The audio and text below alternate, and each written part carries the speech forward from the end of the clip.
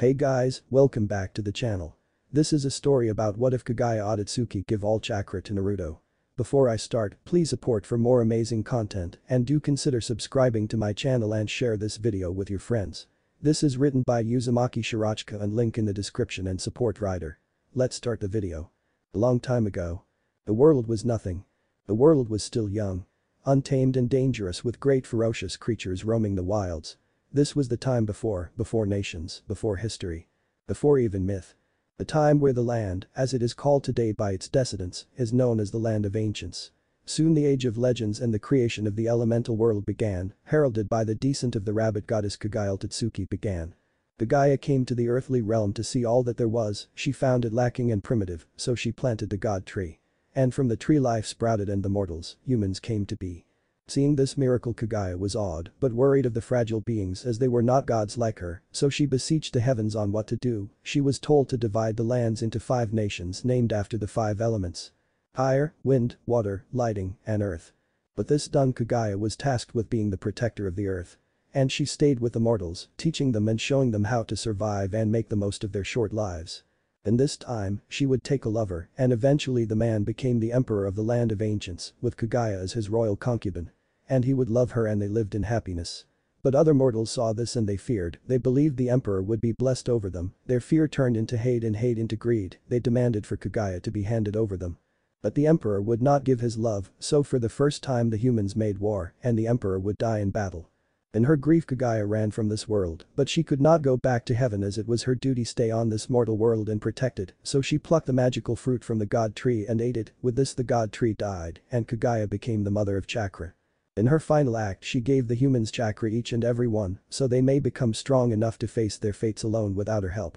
With this done she ascended to the moon. There she stays as the moon goddess mourning her beloved and remaining vigil over the world. But she would never aid the mortals again and stood by watching as they squabbled and bickered, killing and conquering each other in their wars. And this was how the elemental world was founded, how Kaguya left the humans to the strings of fate. Eventually the humans had forgotten Kaguya, only temples and shrines remain. The world was in chaos, the people were aimless and lost, they fought and stole, lied and cheated. Fathers were murdered, mothers were raped, and their children would seek revenge. And so, the cycle of hatred began. It was in this time that the great monstrous demons, the Biju, were born from the people's hate and bloodshed. The beasts would terrorize and ravage the land. But out of them all the most feared was the great Kyubi no Kitsune, even the other beasts feared its great power, because from a swing of just one of its nine tails would level mountains and start tsunamis. However, not long after Kaguya left the world, a man came. He was a wise and holy man, he knew the secrets of chakra, so he created the faith of Ninshu. A belief that because humans were all came from the same source, that they were created from the god tree and blessed by Kaguya with chakra, in this they were all connected. The man became known as the sage of six paths and was the father of ninjutsu. And so, the sage lived and helped the people, teaching them the blessing of chakra.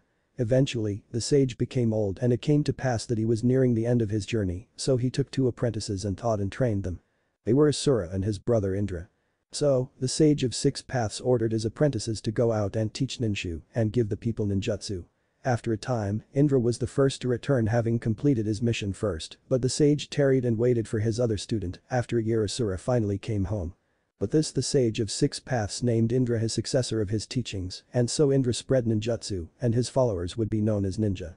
Brave warriors, who through their power and strength would fight to protect the people. The ninja would go through history as a force to be reckoned with, Eventually, they would become separate clans and they would fight and war until Hashirama Senju along with Madara Uchiha created the first hidden village. Hashirama would also capture and distribute the Biju so that a balance of power may bring peace. Time would pass and the village hid in the leaves would be something that none could compare. The village knew peace and prosperity for many years until one fateful night. The Konoha was attacked by the horrible Kyubi, no one knew why it was there or what made it to be angered, but it led a rampage of destruction. All hope was lost until the hero of the third ninja war, Minato Namikaze Aka the Yellow Flash, defeated the Kyubi. But it would cost him his life. That is the history that everyone knows over. But they didn't know was a day later a woman, with hair as red as blood, left the village with her three children. She was aided by dear friends, an entire clan even defecting with her swearing to protect her small family, they all slipped away into the night. Never to be seen again. Chapter 1. The Bridal Party. She was not happy. Surprisingly it wasn't just because she was being shipped off to be married to someone she had never met oh that did weigh heavily on her mind too. She was not happy at the fact her butt fell asleep again. Her lower half was almost completely pinning and needles getting closer to all out numb. This was because they couldn't just run through the countryside, leaping along the tree branches like normal ninja, oh no. The daimyo had to insist that she be treated like a proper bride-to-be, more like sacrificial offering, and shoved in a strange metal and fiberglass monstrosity of a carriage called a limousine. Damn it. What, I wouldn't give to get out of this damn thing and stretch my legs. She thought in her usual manner internally that is. Honestly, if people knew the things she said in the privacy of her mind. Sakura Haruno had never seen such a contraption as a car, for one thing it had no horses or even pallbearers, it moved along at fairly high speeds that some ninja would have trouble matching and completely under its own power. Their escorts had to ride in vehicles much like this one called vans, or else they would be left behind. She was grateful she was used to going at such high speeds, or else she would have definitely gotten motion sickness, like a certain green beast was dealing with, but even so the journey still had taken several days, and she was not used to just sitting around doing nothing for so long. The vehicle honestly intrigued her, a distraction giving the pink-haired girl a welcome reprieve from her situation, she learned that it ran completely mechanically with an engine much like what was found on trains. However, it didn't use burning wood or coal to create steam or any liquid fuel-based combustion engine that she had read about, like the incredible electrical generator her father had bought for emergencies that ran on a crude oil derivative called gasoline. Whatever it ran on the ride was smooth and quitno, if only they could find a way to stop the inevitable numbness of one's rear from prolonged rides. Despite her rebellious glutes protesting at being squished from sitting too long and the added anxiety of not keeping busy, the limo as the daimyo called it was quite comfortable. The limo had enough seating in the cushions that reminded her of sofas for like 10 people and could fit her and her 5 companions, oops, 6 actually, comfortably to the point that they practically could lay down. The eldest of the two blondes present, who just so happened to be the Hokage, was in fact lounging on her side in a manner that a male would find provocative. Sakura looked to the only men, being her father and her sensei, making sure that both were not sneaking glances and behaving themselves. Her father was too busy watching the scenery whiz by the window, but she never known him to be a pervert, her sensei on the other hand was a huge one, but he was satisfied with his usual trashy harlequin romance novel. Tsunade Senju was on the side sofa that ran the length of the limo, reading reports that had been sent via summon by Sakura senpai, who had been left behind to watch over things in the Hokage's absence. Another amazing innovation was that the limo somehow had central air like an office building or grocery store. Hai no Kuni, or the Land of Fire, was a northeastern country with four seasons, right now it was in the middle of the summer, so the air outside the limo was particularly hot, especially with all this humidity, fucking sage does that make it worse. They were traveling southeast to the coast where they would head to Nami no Kuni, or the Land of Waves, and from there to their final destination. The cool, but not cold, breeze manifested from the small vents kept the sultry air outside at bay and the inside tempered and comfortable. Something that would not be remotely possible in the more traditional wooden carriages made of oak and or mahogany. Sakura looked around the compartment, she resided with the people that were her closest family whom she loved. To her right, reading a fashion and celebrity news magazine, was one of her childhood best friends whom she saw as a sister and oftentimes rival, Ino Yamanaka. Correction just Ino. The platinum blonde had to leave her clan when she made the decision to join Sakura in her soon-to-be new home. The only way Ino could come along and also stay with Sakura was to give up her clan's name and swear fidelity to her best friend as her handmaiden, abdicating her right as heiress to the Yamanaka and placing herself in servitude to Sakura. Inoichi and Inamura, Ino's father and mother, was saddened, but they respected and understood her decision. Ino had already been pretty much written off by most of the village, so she would never be taken seriously if she had taken her father's place as clan head when the time came anyway. Sakura was still beyond pissed about the whole thing. Ino Hadwell, she did something pretty stupid for a boy she had a major crush on, who just so happened to be one of Sakura's teammates, a weirdo artist named Sai, she always knew he was a major creep and then said boy made it so that the whole village knew. Nothing happened between her and the boy in a way that couldn't be taken back, Ino let Sakura check, but no one believed her. However, the worst of it was that Sai never spoke up in her defense. She was branded a harlot by every busybody in the village, it was not that far of a stretch for most people, given that the former Yamanaka already had a reputation for being flirty and wore fashionable and revealing clothing. Sakura never believed a second that Ino had done something so scandalous as just hoping into bed with a guy, but with Ino being an heiress to a fairly famous ninja clan, she was constantly under a microscope since she was born, the likes of which Sakura mused was the reason her best friend tended to act out. So, when the incident happened and the manner it occurred, she was judged unfairly by people who had no business making an opinion in the first place, cough civilians cough. Sakura found the whole thing ridiculous and two-faced.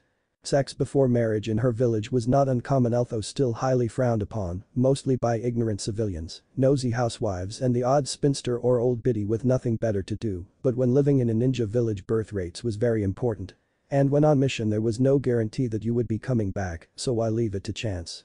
But Kami-sama forbid anyone found out less a village of nosy busybody civilians drag you through the mud, it was almost karmic, given that gossiping was Ino's favorite pastime well, not so much anymore. Her village still practiced the art of seduction to Altho in the academy, they were only taught mild stuff like passing as a mundane unnoticeable girl with flower arranging and tea ceremonies, Ino once posed a princess. So many kunoichi chose to give their virginity to trusted partners, this was also done in case of rape, but understandably, no one talked about that, so Sakura had no idea if it really helped, this way they at least can be deflowered on their own terms. Sakura didn't observe this practice of course, even though she had someone in mind if she did, but she didn't have to, shortly after graduation, she had the luck of catching the eye of the Godaime Hokage, the famous medic nin and one of three legendary sennin, as well as the granddaughter niece of two founders in Hokage. So, she was seen as too valuable to be risked. She looked to her mistress. Once again realizing she would no longer be learning from the woman, Sakura had grown up without a mother, having died when she was a baby due to a strange illness that still popped up every now and then back home. The late matriarch of the Hikage died the same way. Tsunade didn't exactly act like a mother to Sakura, but people could see the woman loved her students like they were family. The Godaime had never married or dated from what Sakura saw and Sakura along her fellow students, her two best friends and their senpai Shizune, were practically the closest thing the last Senju had to children. Sakura couldn't help but feel heartbroken all over again. She loved Tsunade, she loved her home village, but she had to be given away so an alliance can be formed to avoid war. Her village Konohagakure no Sato, also known as the village hidden in the leaves, well it was one of the five great elemental villages was in some major trouble because they were on the brink of financial ruin. Even though most hidden villages, especially the five great nations, were the only military institution in its respective home country, they were still at the core a privatized military state and almost solely reliant on mission contracts which have been steadily dwindling as of late. The Leaf also had made a huge mistake offending the nation she was being offered to. On that thought, Sakura decided to reaffirm her mission as a political bride, the last she will ever do for Konoha, and reading the files her Hokage, the Council of Elders, and the Council of Clan Lords, had given her. It was extremely in-depth to the point of obscene, they came in a 3-inch thick binder. It not only stated the normal stuff like what was expected of her, i.e., make babies, but also some info on the mysterious Arashi no Kuni, the land of storms, her fiancé, and his family. It was just filled to the brim with the intel packets pertaining to her upcoming marriage. There was even a brief, but still very informative, report of why she was doing this. One of the elders, an arrogant and psychotic warmonger by the name of Danzo, had been caught doing dishonorable acts. Ninja by definition were warriors willing to lie, steal, and murder for payment, in other villages they still practiced seduction too. Sakura herself had done something she was ashamed of, if killing wasn't bad enough her first assassination had been a little too tough to swallow, sure the man blackmailed his business, revolves but Sakura didn't sign up to make widows raise their children alone. However, Danzo took things to extremes that even ninja would never do, what finally caught him was a wrongful death, which led to discovering his acts of treason. This was why the village was struggling because clients were starting to avoid them. The Hidden Leaf had long-standing ties with the island nation of Arashi, Tsunade's clan the Senju, were actually related to the royal family of Uzumaki clan. The two families having been split at some point in antiquity. In fact, her mistress and mother figure was a quarter Uzumaki, her grandfather the famed Hashirama Senju, married her grandmother Mito under another arranged marriage with the Uzumaki clan. When Hashirama Sama first made the hidden village system the Uzumaki created their own village nearby, it was a small island of the coast of fire dubbed Whirlpool Country and Uzushiogakure no Sato, the village in the whirlpools. For some reason though Konoha and Uzushio had a falling out and the village was no longer active. Sakura couldn't find out why, she was never taught about it in the academy and her only source was not receptive to telling her. Tsunade had always been forthright with her, but the subject was apparently taboo, all the older woman was willing to say was that the Leaf should have treated their friends better. But despite this there was still a small, like literally only two people, satellite family in Konoha. Sakura looked to her left, opposite of Ino, to her other best friend. Karen Uzumaki had it pretty hard growing up much like her, they were both bullied for their most hated features, Sakura for her forehead and pink hair, Karen for her bad eyesight and bright red hair, Sakura was a shy and timid girl back then, but when she saw Karen was like her, so she approached other girl and became friends, this however made their bullies double their efforts. One day the daughter of one of her father's clients, little Ino, came to the rescue tossing flowers, claiming they were poisonous. The three had been the best of friends for years. Karen recently lost her mother, Kahana, the victim of the insane old warhawk, and nearly broke the poor girl. For the last three years Sakura and Ino lived with her, with her mother gone she was all alone in the house left to her. If Karen's mother hadn't died, there was a good chance that Sakura and she would have been stepsisters by now. Her father and Karen's mother had been getting cozy, Karen's father had passed much like Sakura's mother, died on mission however, and they started dating. Her death was hard on all of them, it was obvious by how close they had gotten, Sakura's father had cried at the news of her death. It was obvious that he had really fallen in love with a woman, and Sakura herself would have loved to call her mom she was such a loving person. In the wake of her mother's death, Karen decided to move with them to Whirlpool, both so that she can be with family and to support her best friend, but really it was probably to get away from the village that indirectly caused Kahana's death. But losing the kind redeeded woman, in such an awful way, was still unfair even three years later. But it was also the catalyst that led to Sakura's engagement. Three years ago, during her first Chunin exam, an infamous criminal Nuke Nin had tricked their ally Sunagakure no Sato, village hidden in the sand, into invading alongside his own rogue village. If it had not been the timely intervention of a group of foreign ninjas that had been taking the Chunin exams the leaf would have been destroyed. They still, however, had lost a lot of ninjas and even more wounded. Karen's mother had a rare Kekkei Genkai where if you bite her flesh, you would be instantly healed. Danzo captured her and brainwashed her with a stolen Sharingan. What was left of the Uchiha clan was not happy to hear that, into using her blood lineage she had her limits, and her life force had been literally sucked out till she was dead. Danzo had tried to capture Karen too to do the same, however Karen noticed and had been worried about her mother's odd behavior and went to the Hokage. When the woman died it was clear that she had not been of her own will and foul play was called into question. When Danzo came for Karen, he was met by the matriarch and clan head of the Uchiha, the mother of her teammate was able to resist his hypnotism and capture him. The Kodo-sama personally destroyed the Stalin Abe cutting it out and smashing it underfoot, along with the old geezer's balls. And then the investigation started what they found was appalling. The man had done truly evil things, most of which was in the interest of the village, but he had no authority to enact them. His acts of treason had certainly offended the daimyo, the usually sedated ruler was beyond pissed. Apparently, he was the one who had tried to wipe out the Uchiha clan when they were dealing with some pretty serious infighting, but that was thwarted when Mikoto-sama deposed her husband. He also had a spy that manipulated the fire daimyo into acting favorably for his agenda, she ended up getting hers too, Sakura always hated that chubby cat torturing woman. Sakura looked to her lap, she gave her new pet Tora a few gentle strokes along her back and a good scratch on her unbowed ear receiving a purr, the daimyo gave the cat to the rosette as an engagement gift, that and other obvious reasons. Anyway, it was Danzo's crimes against humanity that were the worst, like funding human experimentation, including on himself so many ISO gross, or kidnapping children and stripping them of all emotion with straight-out torture as training. It turned out Sakura's teammate Sai, the boy who also ruined Ino's life, was a sleeper agent. Unfortunately this info didn't help reverse Ino's reputation. He was placed on Sakura's team with mission to try to coax her other teammate Sasuke Uchiha to Danzo's side and join his, illegally formed without permission from of the Hokage, Anbu. Unfortunately, Sai escaped right before his own execution and ran, he is now a missing nin, oh heaven help him if Sakura runs into him out in the field, he'll find out what it's like to be his precious paint. Danzo was put on trial for treason and crimes against humanity. Sakura shivered when she remembered the trial, it was more of a spectacle really, the Godaime used it as a means to give her leverage in disbanding the civilian parliament, Aka the Danzo fan club, who had been gaining far too much power in what was supposed to be a ninja-ruled village. The man gave Tsunade all the ammunition she needed. Danzo was insane raving on and on about roots this and ninja are just tools that, almost pathetic really, he had allowed himself to fall deeply into the teachings of the second Hokage Tobirama Senju, to the point of fanatical zealously. Tsunade assured Sakura that her granduncle had never meant anything the Cray Cray Warhawk was interpreting. When it came to his execution Tsunade decided that, while appalling and treasonous, the man had never done anything that didn't have the village's best interest in the end.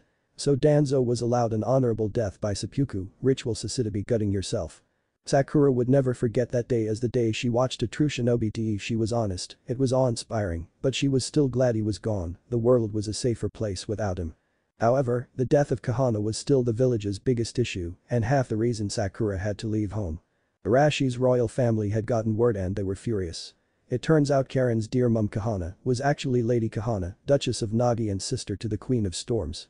How or why actual royalty was slumming it in Konoha was a mystery. No offense to the place she was born of course, but the village was lacking on the metropolitan front. Even though one of the big five, the Leaf had trouble progressing beyond its rural and rustic charm, they still had fucking dirt roads as the main streets. Sakura still listened to records and the radio until her father bought her a laptop as a graduation present and she learned what CDs were. Supposedly the Storm Nation was home to some major tech and engineering companies, the limo for example, was such a product purchased by the Fire Daimyo, effectively starting a rapidly growing trend among nobility and royalty everywhere, this meant the tropical nation may be decades ahead of the curve in tech. Sakura wondered how Kumogakure no Sato, village hidden in the clouds, was taking that well would be the best guess. Cloud was as bad as Iwagakure no Sato, village hidden in the stone, when it came to pride. And technological advancements was something they liked to rub in other villages' faces. The hidden ninja village of Kaminari no Kuni, Land of Lightning, was known to produce some interesting things due to their research into electricity, but they were stingy, and most innovations were annexed for military use, so new stuff from them reaching other nations was sparse. Sakura went back to reading her Felesnet, noticing the concerned looks from her travel mates, even the furry one. The storm nation was large, as big as fire, consisting of a main island and a plethora of smaller islands, but only a few coastal areas were inhabited on the main island of Oyuzu, this was because it was covered entirely by lush jungle that was said to have very dangerous creatures and were mostly nature preserves. The whole nation was protected by a natural defense of various storms along the coast that was the country's namesake, there was even many whirlpools and rocky shores, according to the files whirlpools were very important to local police, there was myths that some of the biggest ones were portals to supernatural planes. The land of storms were also very wealthy because of having a free market open to all foreign trade and rich natural resources, this has led to them having more allies than any other nation. The list went thusly. Nami no Kuni, Land of Waves. Sakura went there once on her first C rank, it was really boring, just escorting this drunken old carpenter that mostly built bridges. But she got to see the ocean for the first time and learned of a local folktale about a famous Nukenin that gave his life for his apprentice in a final act of fatherly love, so heartbreaking and beautiful. Takigakure no Sato, village hidden in the waterfall. They lived in an undisputed territory that had no real nation, but seemed to do really well. But they had a bad reputation, a former leader had sent an assassin to kill the first Hokage, someone all nations respected at the time, for basically inventing the ninja system as we know it today. There was talk that Taki, which was located on Nagi Island to the north, becoming the Storm Nation's new hidden village. To what extent was unknown but many had made it clear they didn't like it as Nagi Island had a huge gold trade. Eri no Kuni, land of spring, formerly Yuki no Kuni, land of snow. Sakura went there too. The daimyo was having trouble cleaning out remanent loyalists of her tyrannical uncle. The place was beautiful, and she couldn't believe it used to be covered in never-ending winter, or that Koyuki Kazahana-sama was also Yuki Fujika's Haim. The famous and gorgeous actress of the Princess Gale movies. Ino and Karen was so jealous when Sakura came back with a photo of her and the actress leader posing, blowing kisses and winking with peace signs, complete with autograph. There was one unknown. It was this very distant and powerful empire far off to the west that didn't have ninja or even use chakra. The only info that anyone had on it was that its people had strange clothing and customs, and the term knight in shining armor came from there. Rumor had it that there was one more, but there was no info about them due to uncertainty of their relationship with Arashi. The rumors were saying that they had offended the queen and she was thinking of giving them the boot. But what was really scary was that Arashi was really chummy with two other major elemental villages as well. Apparently, they had gained an alliance with Mizu no Kuni, Land of Water, and its village Kirigakure no Sato, village hidden in the mist, which had recently stabilized. They had a really bad civil war that had been going since before Sakura was born. The other village was somewhat unsettling, the new and very young Kazekage of the Sand apparently was very good friends with a member of the royal family, this meant that Uzushio had the support of two of the great elemental villages. Sakura remembered Gaara no Sabaku, she was terrified of him then because he was a murderous psycho, a cute psycho admittedly, magnet user almost ended her friend Lee's care errand that was after he had already slaughtered many others into a bloody paste. During the invasion with Odo, he almost killed her how she was saved was a mystery. However, Sakura had been getting to know his older sister Temari, she was named ambassador to the Leaf and worked with Ino's former teammate Shikamaru. Sakura met her often while working for the Hokage helping in the office, Temari said that Gaara had took a turn for the better and was healing, the next time she saw him he was defiantly changed. He even apologized to her. However, the shock of the century was Tetsu no Kuni, Land of Iron, which was not a ninja run country because they were ruled by samurai. The news rocked the world and was causing quite a stir, the samurai of Iron swore they would never involve themselves with ninja. And most of the world had ninja in one form or another. The samurai of iron were the last of their kind to hold rule over a country as far as she knew, they still existed and served daimyo, but ninja had become the main military force on the international stage. But ninja everywhere both feared and respected the swordsman, Sakura-sensei Kakashi honestly admitted that he too was pretty scared of them, he had a run-in with them only once when escorting a noble to watch a competition of top swordsmen. He said there was a boy from Iron there, no older than what would be considered genin, and the boy won the tournament with frightening ease. He would start and end every match with a single slash. The swords were of course blunted, but the force of the impact nearly killed a few people. After Kakashi told that story Sasuke came to next team meeting carrying a practice sword, he was now a proficient swordsman, but never seemed to be satisfied. There was another rumor that the Storm Nation and all its allies were in the process of building a multinational union, something the likes the world has not ever seen before. And there was no telling how many Biju that Mentarashi had at their disposal it was quickly tipping the balance of power between all the nations. So, with Konoha losing business and being the only one of the top 5 without a Biju, it would be foolish not to join as well but of course, they had to let the sister of the royal clan die a horrible and painful death at the hands of a zealot. It was a catch-22. They needed the alliance to stay afloat while at the same time keep them from declaring a very costly war that Konoha could not afford, no telling if they would win either they would get creamed for sure. It was like giving the neighbor a black eye and then ask for money. So, when such a situation presented itself there was only one thing any ninja village could rely on tradition. The marriage between Sakura and her future husband, still an alien concept to her, would be an act of good faith, much like it was between Mito and Hashirama, and their union would be seen as a symbol of peace. There might be an issue with Sakura's low birth, to put it bluntly, she was a commoner from a civilian trading clan, but Tsunade had assured the girl that her status as the Slug Sage's most farthest reaching apprentice and one of two inheritors of the Slug contract, as well as her astounding record as a medic nin. The Rosette's cachet was more than elevated enough to marry a prince, she hoped it did, Sakura can't afford such a lethal blow to her Gogain. Sakura wasn't privy to the finer points of the exchange, like trade agreements, no doubt though there would be the usual resources ninja nations tended to barter. Things like jutsu and agriculture goods like crop and livestock, yeah, Sakura felt really special being as valuable as cow, there was of course the promise of aid during times of battle, and even possible exchange of forces, the deal would also open both nations to investment opportunities. That was why Sakura's father Kizashi came along, of course following his only daughter and the daughter of the second woman he had ever loved, making sure they were both safe was more important, even though this was modern times and the decision was all Sakura's, it was still traditional for the father to negotiate the terms of the betrothal and accept the dowry. And since this was a marriage between political powers that meant he was basically representing the leaf and much to the man's protests, Lady Tsunade had appointed him the official ambassador. It wasn't like he couldn't do the job, being a merchant, he pretty much did the same thing as politicians, brokering contracts and deals for his clients, making sure they were happy, and was not getting the short end of the stick, but this was of a magnitude he had never done before. He would technically still be a citizen of the Leaf, but he was moving with them to be close to his little girl and do his job more effectively, so he would have to make trips back every now and then for an official report. Overall, it would be up to him to make sure Konoha would get a favorable deal and continue to do so for the foreseeable future, no pressure. It would also be difficult for him because there was the strong possibility he would be primarily dealing with his own daughter and would need to disregard his feelings for her and think only of Konoha's best interest. Sakura remembered what he said to her after he got the appointment from the Hokage. As long as I know you are safe and happy, that he treats you right and doesn't hurt you, then I can manage anything in the world. Sakura repressed the urge to cry, if she was gonna be a princess she can't cry. And turned the page.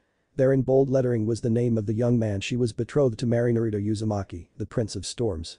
It wasn't a current photo, just one from when he became a genin three years ago, much like herself. But she will admit he was kinda cute, a little chubby-faced, but those blue eyes were honestly, they were breathtaking. Sakura had never seen eyes so blue, Ino had teal ones that were so bright and pretty, it seemed like she didn't even have pupils. But this guy, Prince Naruto, no offense to her best friend, but as you could just get lost in. Blonde and tan wasn't normally Sakura's type, but really not bad either, Sakura could see herself at least wanting to get to know him so long as he didn't have any glaring off-putting character flaws. His eyes though spoke volumes, Sakura was never good at reading people she's admit, but Naruto's eyes even in photo just projected an inner something. Kindness, confidence, and just that special little something that just made her feel relaxed.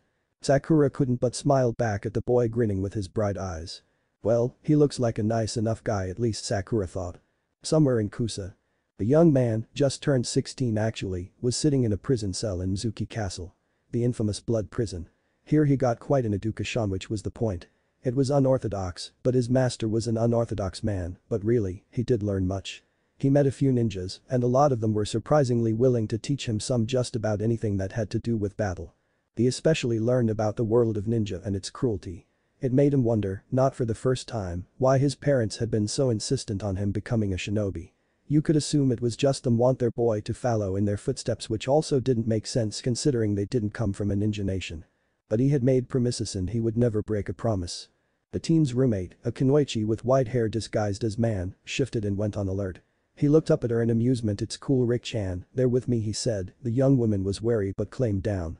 They looked over to the shadows in the corner and out of inky blackness came three men, one was in a long coat and was wearing a helmet that masked his eyes and hair. The crest like much like the trident he was carrying. How are you doing son? The man asked.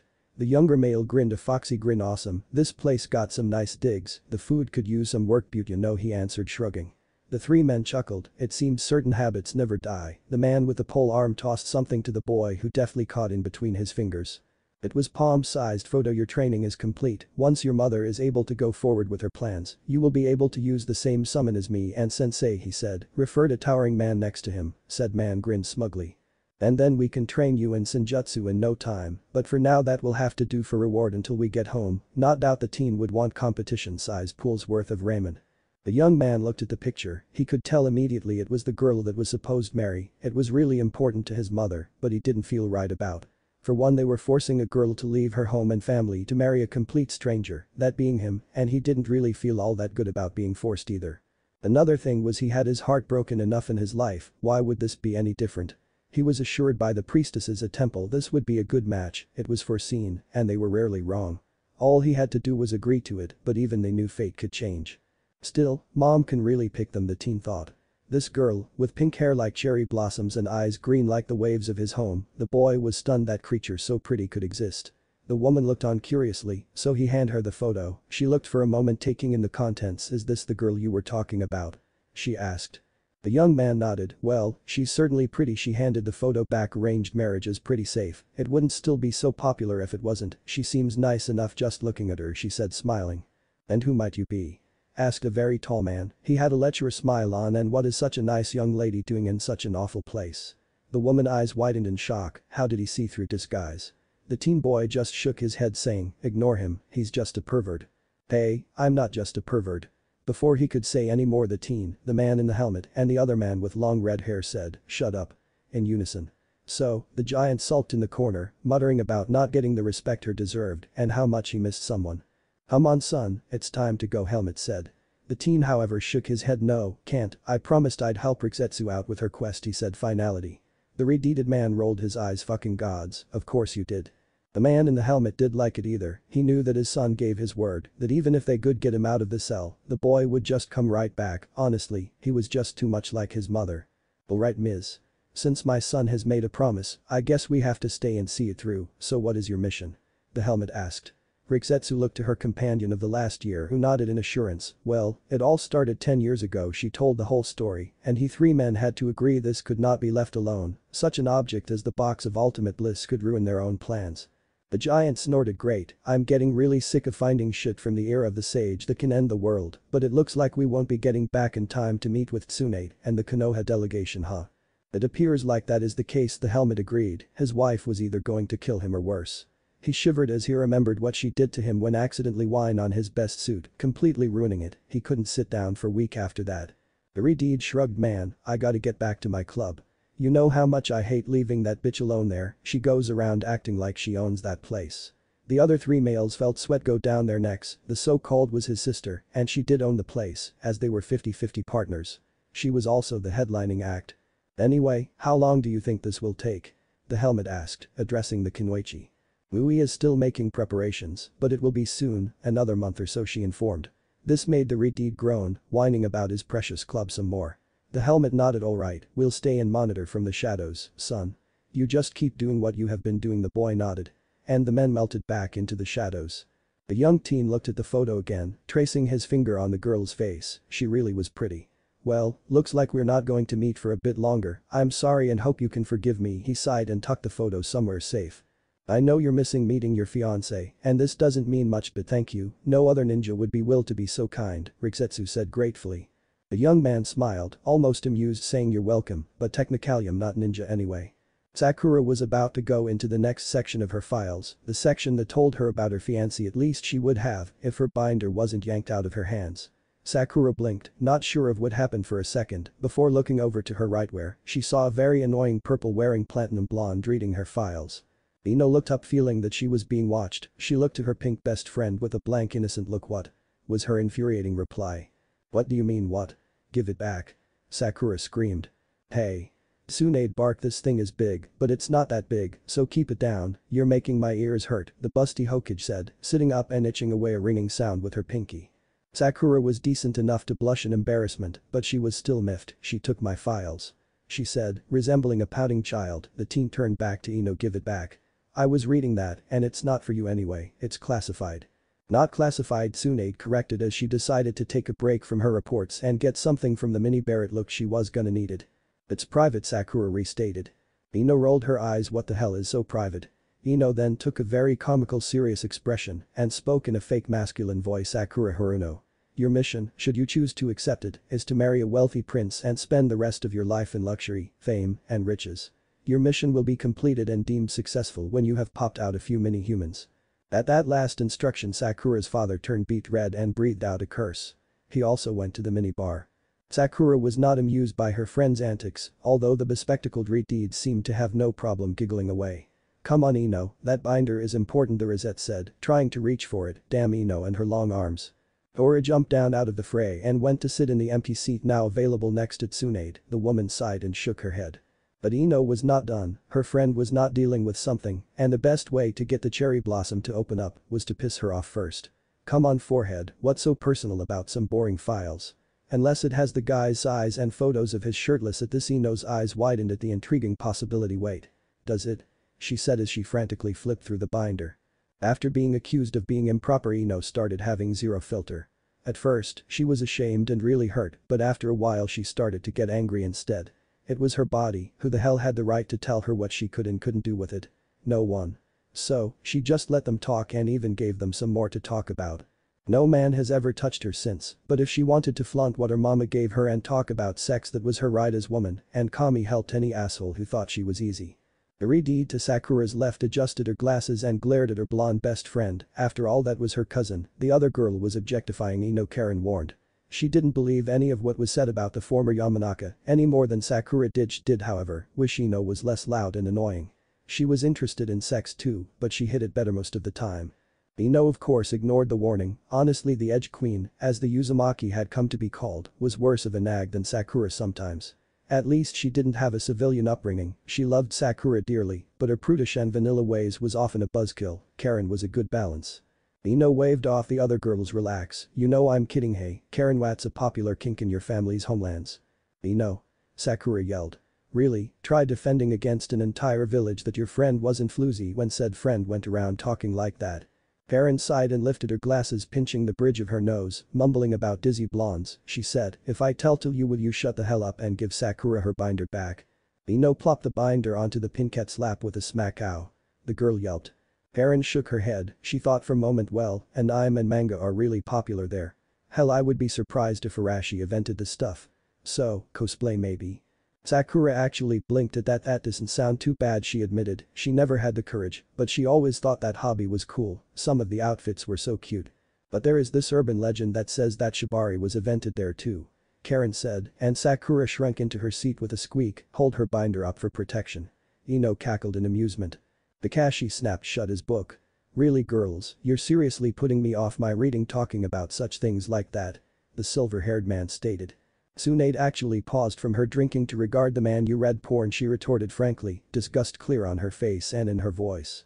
Kakashi waved his finger to his leader, the man was lucky he was married to the Hokage's eldest pseudo-daughter, promising grandbabies were on the way, or the booze and casino-loving older woman would have used her legendary strength to rip off the cheeky Jonin's digit and shove it up his ass. Not true, I read vivid romance literature with drama, humor, and yes some strong sexual themes and situations. I'm not interested in listening to the vulgar rantings of teenagers who have no idea what sex even is, my book is far more fulfilling. His anecdote earned him a triple raspberry emanating from the back of the limo. The adults felt like sweating at the embarrassing sight with Kakashi thinking real mature and these girls are supposedly gonna save the village well, we're boned. Tsunade however came to the girls' rescue oh yes, Shizune told me how fulfilling your reading is she looked to the three teen girls with a mischievous grin, she said you love your book so much that you write your own which you later test out with roleplay. The girls all collectively gasped, and the poor copycat grew an angry bright red blush, glaring at his faux mother-in-law, it wasn't easy being married to the apprentice of a legendary Kunoichi. Oh, my sage. What a weirdo. Ino exclaimed, starting a laughing fit between her and her girlfriends. Poor Kakashi. A short glass with what looked like cola and a cherry in it was held into his field of vision. The Haruno ambassador had read his mind and Kakashi took the drink gratefully not caring how much alcohol was in it thankfully it was a lot. Tsunade was satisfied with putting her son-in-law in his place. So, she looked to her still giggling younger apprentices, but really Sakura she said gaining said girl's attention along with her friends, you have been reading that binder like a bible since we left. Karen, now under control, rested her hand on her friend's shoulder giving a concerned look, she adjusted her glasses and asked she's right, you've been quiet all morning, and your chakra has an uneasy flux to it. Are you okay? Karen asked, trying not to invade her friend's privacy by looking too deeply into her aura. Sakura looked to the redeed and then to the blonde on her other side, who had a small calming smile, trying to encourage her as well, Sakura sighed it's justice this really happening. I keep trying to tell myself it is, but I just she sighed again more forcefully in exasperation. The thing with Sasuke still hurts, but I'm over him it's just this is happening so fast, I don't regret agreeing to this but I'm barely keeping up. That's why you keep reading the intel Kakashi said sipping his drink, Sakura was always used to being in control the man mused sigh the whole team was too rigid, if I had someone more unpredictable, then maybe we could have taken harder missions. Hopefully this will help her becoming more adaptive. Sakura's father Kizashi chuckled, you always were a study bug, even as a very little girl you always had to read and research everything, never taking anything at face value. I remember when your cousin got drunk and said snow fairies weren't real and didn't leave presents under the gifting tree for winter solstice. He then looked to the other adults with a warm fond smile. By that solstice eve, she had a full lecture ready for the family, complete with visual aids, proving without a doubt that snow fairies were real and could in fact deliver presents. He then looked to his daughter with a bright smile, I hope you kept it all, it would be a wonderful tradition to keep going for your own children. Sakura, despite her embarrassment, had a fond nostalgic smile of her own. Yeah that would be great, I still have the lecture somewhere with my books, she then frowned sadly, just not the visual aids, I brought them to Shulan. They were smashed in the mud, totally ruined. Kizashi looked saddened, once again wishing he could have done more when his daughter was younger, but it was hard being a single father while running an entire clan's worth of trade deals and other business. That was why he fell in love with Kahana, the woman was there for his baby girl whenever his cherry blossom needed a woman's advice. Well, at least we didn't have to worry about anyone after that, we got them good. Ino said triumphantly. Yeah, I didn't have any problems after that Sakura said trailing off at the end, she became quiet as faces flashed in her head. Karen and Ino looked at each other and then sighed in seeing their friends shift in mood and shaking their heads. Except Kona. The girls said in unison. Kona? Tsunade asked hearing them you mean that girl from the Uchiha clan who married Mikoto's boy. The Hokage didn't notice the two men motioning in a don't say it manner, but they were too late. At the mention of her former teammate and longtime crush, marrying her old schoolmate and kinda friend, Sakura slumped in her seat completely depressed. Fucking bitch Ino commented under her breath. Karen frowned disapprovingly at Ino that's not fair Ino, she had no choice in her marriage anymore, then Sakura did, and she is still one of my friends. She scolded. I'm sorry but excuse me if I'm a little suspicious with how easily it all went, I mean, but Ino wouldn't finish because a golden chain came out of nowhere and wrapped around her mouth effectively gagging her. MM. MMM. Shut it you dumb blonde Karen smirked. Said blonde glared back and mumbled under the chakra conjured chain that translated as fuck you, four-eyed bitch. Sakura ignored them, too depressed. Kona was a girl who just showed up one day in class, so the story goes, she was a half Uchiha who was born outside of the village, apparently, when she had unlocked her Sharingan at a young age her mother felt it was best to send her to the clan. She was nice and a. She was not a typical Uchiha, she was actually complete opposite, she was loud and loudly foul-mouthed, always having a smirk on her face and eating dango. She was also, as Ino liked to put it, a psychotic bitch that enjoyed torturing people.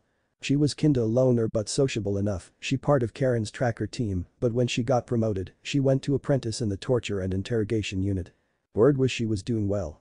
Karen was right, it wasn't Kona's fault, but everything that happened after graduation it just felt like her life was spiraling out of control. There was no joy in it, just being a ninja, a soldier. It was as if she was the earth below without a heaven above. For all the drama Sakura's school years was a simpler and more innocent time. Sakura for most of her school life, and for some time after being placed on the same team, pined after Sasuke, she'd cheer him on like the others and stare at him dreamily from a distance, always asking if he would like to go on a date and be rejected instantly each time, but Sakura never gave up hope. But it got harder to do one day when they all were about six. Sasuke's older brother, Itachi, went rogue after being accused of killing his best friend and cousin and trying to cover it up as a suicide. Itachi slipped away after killing the entire police force, no one knows what really happened that night, but it was chaos and ended with Mikoto Uchiha, Sasuke's mother, executing her husband Fugaku and taking over the clan. The resulting fallout would elevate the clan, Mikoto's sacrifice was praised throughout the village, they would move closer to the village center and rebuild the police force alongside the Hokage. Sasuke changed forever, Itachi was very important to the young Uchiha, and the betrayal hit him hard, his betrayal would be widely accepted as the catalyst for the Uchiha massacre, as it was soon to be called. Sasuke swore a vendetta on his brother, blaming the Itachi for his pain and dishonor placed on his clan, he became broody and unsociable. He wouldn't talk to anyone, at least not politely, grunting and calling everyone annoying was all you could get most of the time, he was now the only heir and future lord of the clan. But despite all this it made Sasuke more popular and desirable, the new attitude made him mysterious which all the girls ate up. Sakura however felt sorry for him and because of this became more convicted to be his special someone. Sasuke was not going to have it however and made it clear on the day they became a team. It wasn't all bad, for a while they were just a team and then friends, Kakashi at first was a terrible teacher, but after he and Shizune started dating the Jonin medic lit a fire under the man's ass. Kakashi suggested for Sasuke to ask if his mother could teach Sakura about Genjutsu, the woman was very nice and a great teacher, and Sakura was very suited for it. That was how Sakura met the Hokage's assistant, Shizune was impressed with Sakura's chakra control and offered to teach her, when Sakura read 9 medical books in one week that was when Tsunade came in. They would have a good run, they would go on missions, Sasuke and Sai would constantly bicker and fight. It was like Sai went out of his way to provoke the Uchiha. There was time Sakura couldn't be happier and then Sasuke surprised her by asking Sakura out. It was the blissful the genin had ever felt. For all of one week. They only went on one single date, lasting all of three fucking minutes, that whole time. She never even got so much as a kiss out of it, better that way, no sense in wasting her first kiss with a heartless jerk. He did it right before the Chunin exams. She thought he was starting to love her, he never said he did, Sakura just stupidly assumed, he said that he was just seeing what was there between them, that he wasn't sure how he felt about her. When he broke up with her, he said he was confused about how he felt, but he realized after spending time with her that his feelings were just great care and admiration for a teammate and even saw her as family because every girl loves the I love you like a sister speechnet. Just when Sakura's heart couldn't break anymore, she found the announcement for Sasuke's engagement while checking her computer the very next day after they broke up. Apparently, the betrothal had been in the works since Konoha came into the village, by law 16 was the age a licensed ninja could marry, but the marriage was already set in stone long before that. Sasuke had played her, he was just using her because he had cold feet and was looking for an out. She never saw him again after that until the exams, and even then, it was just about the exam and nothing else, and it felt like she was in the way. She almost died after getting swallowed by a giant snake, thankfully teams of the other rookies were nearby and got her out, but when she was inside somehow Sasuke got knocked out. After the invasion Sakura left for full apprenticeship with Tsunade and Team 4, bad numerology right there, would be officially disbanded, much to Kakashi sensei's disappointment, he really thought he finally found team who understood teamwork and friendship. Of course, Sakura would see and train with the erotic book lover, but after getting married he just basically retired, he took a vacant seat in the clan council. Hatake wasn't really a clan, but Kakashi had garnered enough respect to be rewarded with the privilege to be a part of the discussion and have a vote. Sasuke left too for training somewhere for the next three years and had just came back in time for his wedding, which Sakura stupidly attended as his ex-teammate, Kona was so chipper and nice, fucking gloating bitch. And here she was now, doing her best trying to save the village, on her way to marry a complete stranger. Sakura always had a plan for her life, but ever since she became a ninja, it was like she couldn't have anything she really wanted. So, it's Asu Karen said, reading her like a book. Rosette looked to her friend with a disapproving frown Karen, you know I hate it when you read me so deeply without my permission she reminded her friend. Karen had another Uzumaki bloodline that gave her incredible sensing abilities, she could find people more accurately than even a Hokage, faster too, and didn't even have to mold chakra like other sensor types, it just happened with a thought, although she does have trouble sometimes with it just switching on automatically. If she concentrated on one person she could read them kinda like how Yamanaka reads minds, but she couldn't read specific thoughts and memories, just interpret how someone feels from how the subject's chakra fluctuates. Karen had always described it as reading other people's auras. Sakura respected her friend and lived and let live, but Karen and Ino were into that mystic nature stuff, Sakura never understood it. Karen looked to one of the two people in the world she considered a sister, concern still shining behind her glasses. Her mother always said that her, Sakura and Ino were so much alike but still complemented each other. The Uzumaki really wanted to help her friend, so Karen held out her hand asking for permission and waited. The Rosette looked to the hand apprehensive Elibet after a moment conceded and took the offering. Karen smiled and began instructing now, you know what to do, so just close your eyes and relax, just let your emotions fill you, swirl around inside of you, and hold nothing back Karen, then looked to her other friend Ino, why don't you help? Ino struggled a bit, she really wanted to help, but as it was, she didn't trust her ability because she didn't have it anymore. Part of the deal of her removal from the Yamanaka was that her father, having no choice in the matter because of clan laws, had to go into her mind and erase the clan's secret jutsus. Technically the Yamanaka techniques were categorized as a teachable bloodline, same with the Akimichi and the Nara, anyone could theoretically learn them, but only that clan had the slightly above average genetic traits to use the jutsus. Yamanaka had a unique enough brain configuration to use the Jutsus effective alien above all safely. However, her parents didn't want to completely declaw their only daughter though, so her father removed all the necessary information needed for the jutsu, such as hand seals, how to mix her chakra, and what to do once the technique was activated. But he left a lot of her psychic training from when she was growing up, like meditation techniques, and how to access different parts of her brain needed for psychic jutsus, and how to enter her inner psyche and create various mental landscapes like a memory palace or just a neutral mindscape for her to escape and relax. With this she can train and hopefully create her own jutsus, it wasn't uncommon, Genjutsu often used reaching into an opponent's mind so that the illusion could have a personal touch unique to the one it was casted on. Shizune said that her uncle Dan had a technique that was similar to the mind-body switch technique though, because of him not being a Yamanaka, his inability resulted in the creation of a highly lethal assassination technique. Shizune was kind enough to give the ex-Yamanaka the only scroll with all his notes and the finished jutsu, but Ino as of yet hasn't felt comfortable enough to learn it.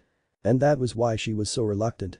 She was scared of hurting herself or even worse her friends, she didn't want to accidentally shred Sakura's mind like a blender, worst case the girl would become a vegetable, and best case she would revert to a younger Mincid.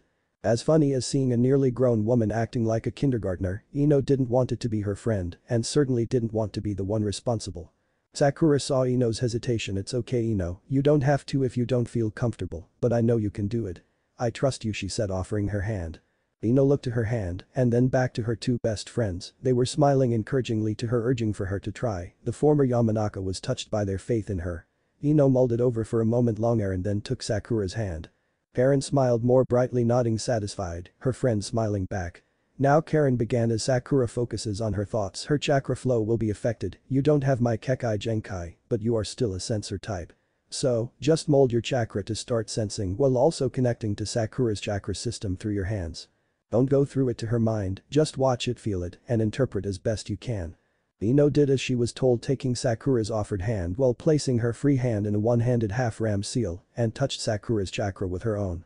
As far as she could tell it was working, Ino could feel her chakra like she was sticking her hand into a stream, the flow felt like it was having trouble deciding what speed it should go it was restless. Ino deduced that what she was feeling was Sakura's anxiety of her upcoming marriage. Karen began her own preparation, unlike other bloodlines hers wasn't like flexing a muscle, rather it was relaxing and allowing her ability to take control letting it loose. When she does though the white noise from all the sources can be staggering even for her, it would be so easy to just lose herself to flow of all things, it was hypnotizing and painful. It was like have loudspeaker right next to your head.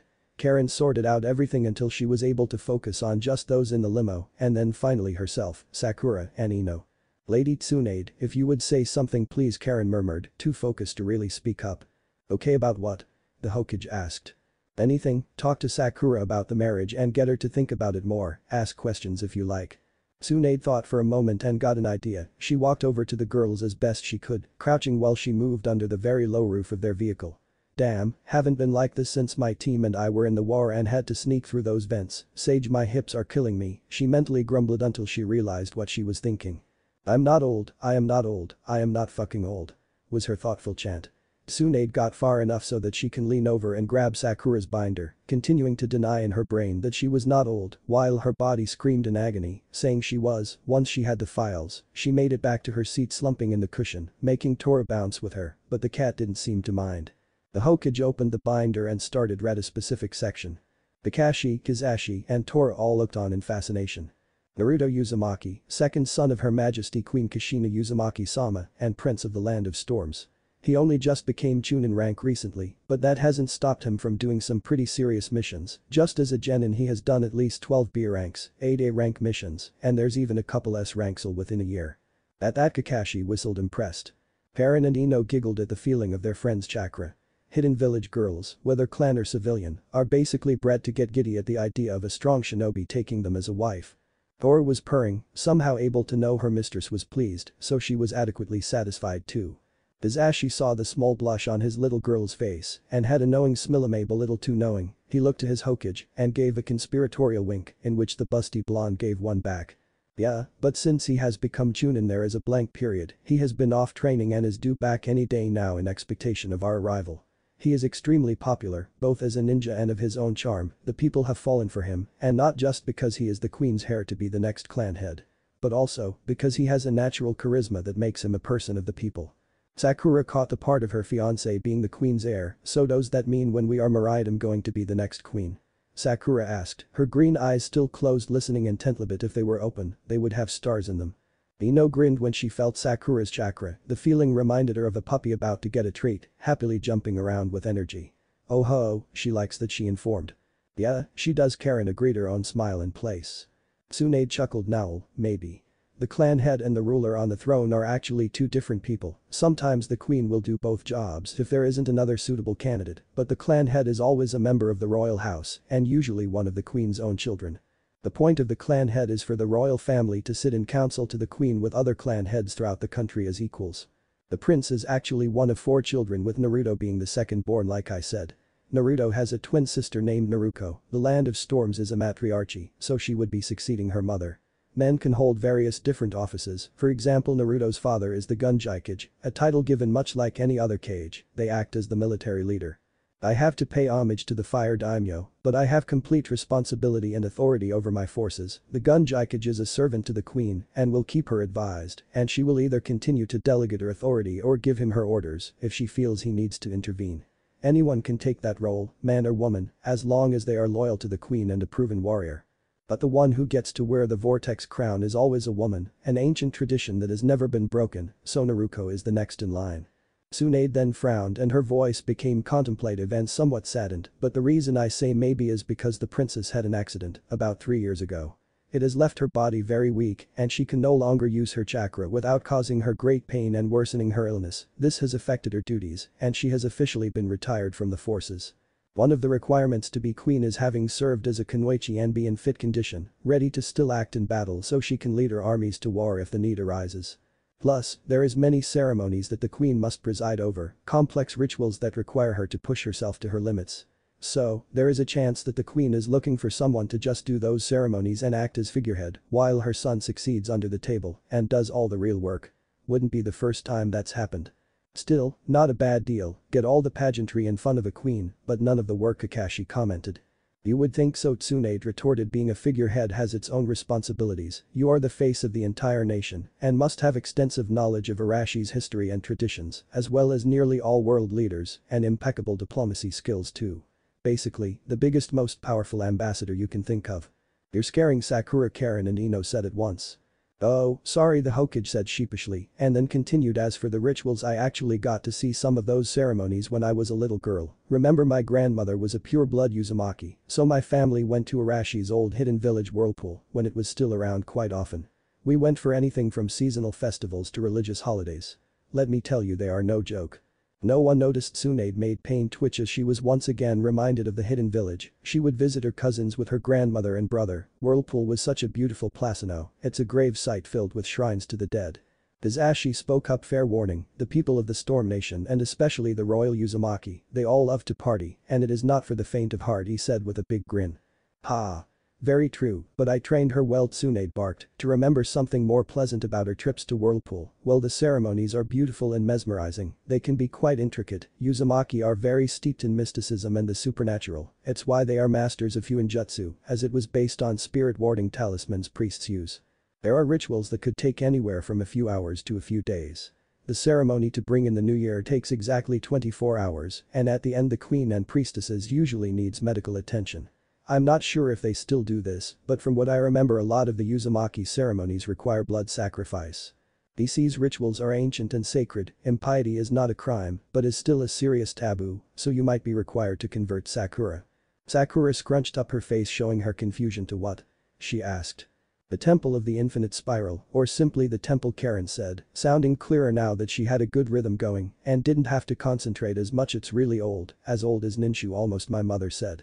It was based on another belief system no one remembers, I think the name was lost through the ages, but at the time one who founded the temple felt the other belief was unholy or something.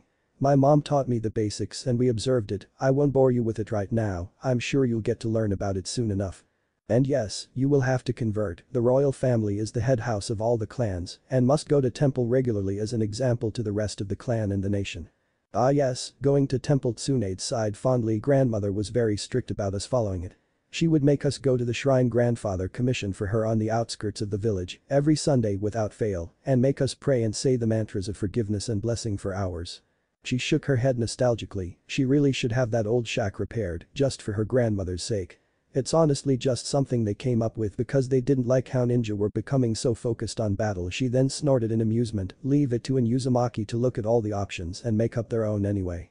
But still, I believe it and it's not a bad way to live, confession is a real gas, but you'll learn about that later.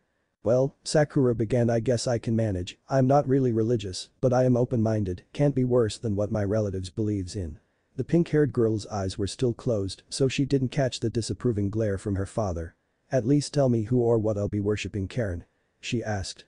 The Depends Karen shrugged, not feeling comfortable with telling her friend Karen wasn't very religious either and she didn't think Sakura was a bigot.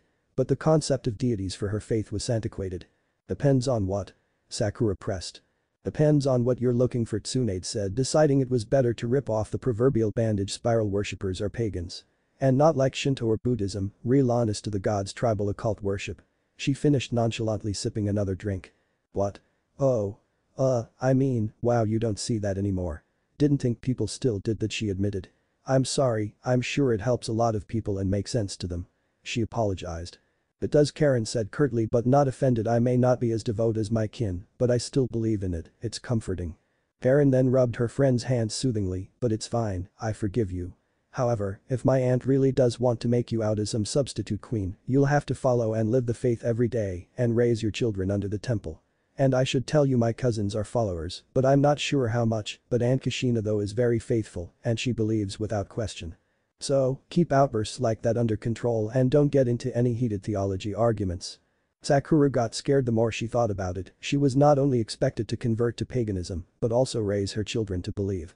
And what was that about blood sacrifice? Images kept flying through her head of little boys and girls watching barbarian women drenched in the blood of a freshly sacrificed animals as they danced around a bonfire naked herself among them. Ino soothed her friend as well easy girl, it probably isn't that bad and don't worry about the queen replacement thing. I'm sure they'll go through all their options before having to pick you. Oh, don't be like that, you know I don't think you're not worth first pick. She said, feeling that Sakura felt insulted. But Ino is right Karen interjected beside myself there are two cousins in the main royal house under my uncle Nagato, the queen's cousin. His daughter, my cousin Taya, would most likely get the crown because A. She's female, B. She's the eldest of all of us royalty kids, C. She is a strong high-level kunoichi, and D. Unlike Naruko she's pure blood and has the Uzumaki signature red hair. Sakura was surprised at that weight, so Naruto and his sister are half Uzumaki. And what's so important about their hair? And you said Naruto is the second born and his sister is his twin, so what about the eldest? Why can't they succeed? Sakura asked in succession. Whoa, slow down forehead Ino said, your chakra is making my head spin. Kizashi chuckled thinking yup. Always my little study bug. Kakashi smiled with his lone eye, showing his amusement and Toramute enjoying the show. Karen opened one eye to look at the blonde let go then, you're probably needing a break, I'll take it from here. She told Ino and closed her eye again so that she wouldn't accidentally lose concentration and you did a really good job, I think with more training and exploring, we might be able to find you a new jutsu that rivals your old clans. Thanks Ino said rubbing her temples, I'm not sure about it being that good, but this gives me hope. She admitted. She went over to the minibar for a snack, feeling nostalgic she grabbed a personal-sized bag of barbecue chips. As for your question Sakura, I'll answer them in order. Tsunade told her yes, Naruto is a half-blood and so is his siblings, his father isn't from the royal clan, but he from prominent clan in the Storm Nation, you'll know more when you meet him. As for the hair it is a great sense of pride for the Uzumaki, like a lot of other religions, the color red represents fortune, blood, sacrifice, and passion, all of which are sacred themes in the Uzumaki belief system. Although orange is the color of the royal house for some reason. So, whatever you do, do not disrespect it. Uzumaki have been known to be quite violent sometimes when someone insults the color of their hair, it's as bad as calling an Akamichi fat. Ino choked on her chips, that was pretty bad, and she should know. She grew up around the Akamichi clan. Geez all that for just a color. She coughed out. Actually Tsunade began you are gonna have to change your wardrobe there Ino. She informed with a teasing grin. Uh, why? The purple wearing teen asked. Purple represents poison, illness, and an unjust end in other words it means death. Karen informed a little too happily. Ino glared at her friend then why the hell do you wear it? She barked referring to the Retide's own light lavender top.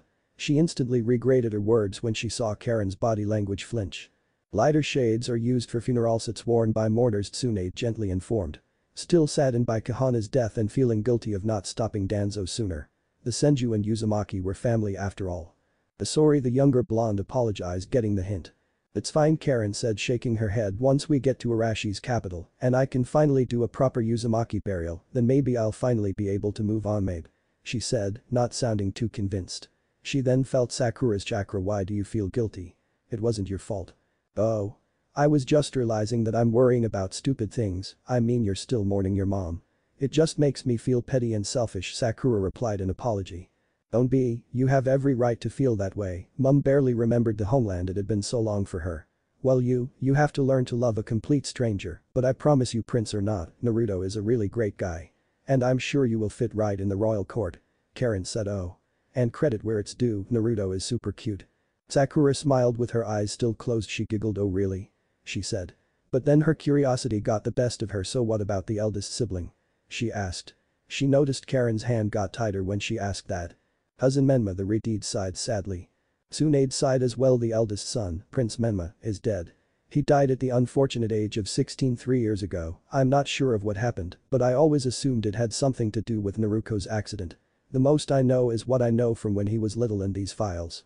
He was a very serious boy, rarely smiled, but he was proud of what he was and where he came from, graciously of course. Truth be told he was actually in line to take the role of clan head, meaning whoever he married would have been queen. I honestly never met him Karen spoke up again, the few times I met Naruto and Naruko he wasn't there and never writing to us before or after that, whoever did would give a little sentence or two saying he sent his regards. So, I really don't know that much about him besides what his brother and sister told me. But from what they told me he tended to be a bit mean and cold, but he loved his family and friends, he called himself a protector and strived to be the strongest in his country. Karen said. Tsunade nodded yes, and by the time he died he had achieved that goal in spades. He had a career similar to Itachi Uchiha and Kakashi here, gradating at a young age, and by the time you became Genin he was already Jonin. Probably why you never met him Karen. While Naruto and his sister were at the Chunin exams he was doing his duties back home. Sakura got what her master was saying and was very surprised wait. You mean the guy I'm supposed to marry was in Konoha? And took the same exam I did? She asked stunned. Well yeah Karen giggled, finding her surprised or comical don't you remember? I had family over at that time. And couldn't hang out much before the exams. You even met cousin Naruko she asked. Ino's eyes widened that's you're the guy, that little blonde goofball you're telling me he is a prince. She exclaimed. You met him? Sakura asked, her eyes opening for the first time to look at her friend in shock, and what do you mean goofball? Ino felt really awkward. Oh, she had info about her best friend's new fiancé alright, it wasn't all bad but well, there was stuff she wasn't sure how her friend would take. But she would never lie to someone she saw as sister and now Sakura was her mistress to whom she served, so she told the truth. Well Karen was showing them around the village and so Ino went into her story. Chapter 3. The Uzumaki Twins. Three years ago, a little before the Chunin exams. Ino was tending the flower shop bored out of her mind, she made the mistake of trying to get out of even more boring and hard training her father was giving her for the Chunin exams, as a result he said that if she didn't want to train, then she had the time to look after the shop and give her mother a break. Finally, there was a bing bong sound that signaled someone walked in activating the new electronic bell. The entrance to the shop was an open doorway, and more than once they had lost a sale because someone was in the back and the customer felt ignored. It was a weird little device that used an invisible beam of light of all things like a tripwire. Welcome to Yamanaka Flower Shop. My name is Ino, how can I help you today? The platinum blonde said chipperly with practiced ease and an award-winning smile, as much as she hated being alone in the shop sometimes, she loved serving the customers, it was very fulfilling. She was greeted back with a giggle wow, you're right cousin, she is peppy came a girl's voice. Yeah, but I like her, she seems nice responded a boy's voice. Hey Ino. That voice however Ino recognized. Ino really looked at her guests and realized that her best friend Karen was standing with two blondes. It was a boy and girl about her age, and they had to be twins, they were nearly identical. Karen was in her usual ninja outfit of a two-piece fishnet armor bodysuit that covered her from her neck to her ankles, a dark charcoal miniskirt, a dull green short-sleeved shirt with a brown decorative bar across her chest, and the usual accoutrement of her official leaf I-8, black sandals, and her cute glasses with the chocolate-colored frames. You know. I have someone for you to meet, well two of them, but anyway these are my cousins. She said gesturing to the boy and girl. This is my cousin Naruko she said introducing the girl first. She was very pretty, so much so Ino actually blushed despite herself. She had a heart-shaped face, and Ino noticed strange markings on her cheeks, they were thin dark lines, three on each cheek. They looked cute, but the flower girl couldn't decipher what they were for maybe she just really liked cats. Her bright goldenrod blonde hair was in two pigtails high on either side of her crown and went on till they touched her rear. The hairstyle reminded Ino of this really popular magical girl anime that she used to watch when she was little. The style worked for her and amplified her cute and innocent look. The girl had big eyes of the most magnificent blue Ino had ever seen. Ino couldn't decide which blue gemstone they reminded her of, just when she thought they were like an aquamarine the light would shift and they would be darker almost like a sapphire. Ino did get jealous looking at the girl's body, the girl had a figure that made the Yamanaka a little pissed off at the unfairness of it all. Even though she had to be the same age as her, she was already developing an hergless figure. Widening hips, toned tanned legs, a plump butt, and was her boobs bigger than hers, Ino glanced at her own body and for once regretted all her diets, she was more developed than a lot of girls in the village, but now she was realizing why her mother and aunties kept saying she was too skinny. The girl, Naruko, was wearing a bright orange number with blue accents. Normally Ino would think the color was an eyesore but for some reason it suited her sun-tanned skin, so it passed Ino's sniff test, and she honestly admitted it ensemble combined with her bright hair and eyes, gave a certain cheeriness. Like a beam of sunshine given life. She had on a crop jacket, showing her cute belly button and flat tummy, zipped all the way up, making it more fitted but not skin tight, but the sleeves were still loose. The shoulders were a soft baby blue, and the collar and cuffs were white with padding. She had on a matching orange miniskirt much like Karen's, she even had the same armored tights and blue sandals matching her shoulders. Ino noticed the headband, she had to take a second glance because she almost thought it was the leaf sigil, it was the normal navy blue cloth that her village used, but the symbol was three spirals flowing into each other seamlessly. The Yamanaka girl thought never seen that one before, it reminds me of the crest on the back of Jonin vest, I wonder what village it's from. Ino took all of two seconds to size the other girl up, after all she was a fashion pro and could pick out the next hot trend with just a glance in any boutique and overall Ino thought the girl looked good and had good taste. But it was her kind smile that made Ino relax around the foreign kunoichi, she couldn't place it, but something made her instantly like this Naruko girl, and she was Karen's cousin, so that was good enough for Ino. Ino smiled brightly and offered her hand politely hi. I'm Ino of the Yamanaka clan, nice to meet you. She greeted. But Naruko surprised the shopgirl, she giggled giddily and took her fellow blonde into her arms and squeezed real tight, lifting her cousin's friend up high in the air, which was saying something because Naruko was quite a bit shorter than Ino. Aw, come on don't be like that. Any friend of my cousin is a friend of mine. Karen-chan has told me all about you in her letters. I feel like I know you already. She exclaimed, extremely happy that she was making a new friend. Ino was stunned, and not just because a complete stranger was hugging her, this girl was a monster. Her strength was insane. Ino was struggling to breath and her back made a popping sound when the other girl gave a firmer squeeze. But once again Naruko's sweet face tugged at Ino's heart and she couldn't bring herself to be cross with the girl, that happy grin could make a mountain swoon, so Ino just patted the girl's back and strained to smile. Yeah, sounds good Ino said using the last of her air. Naruko-chan the boy sighed put the girl down before she passes out like the others. He gently instructed with a small ace of amusement. Oops. Naruko said dropping Ino on her butt sorry, I'm a hugger she said to the gasping girl on the shop floor. Ino was able to get back her precious air and stood up no, no, it's fine. It's actually refreshing she said, also thinking in a jump off a cliff near death kind way.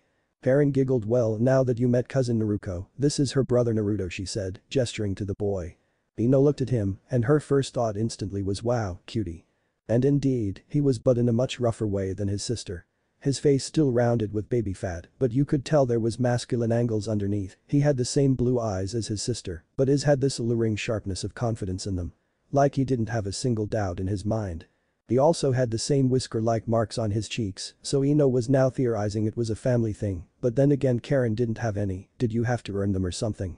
While his sister's beautiful smile was kind and calming, Naruto's handsome crooked mug was mischievous and energetic, and Ino felt herself feeling revived just by looking at it.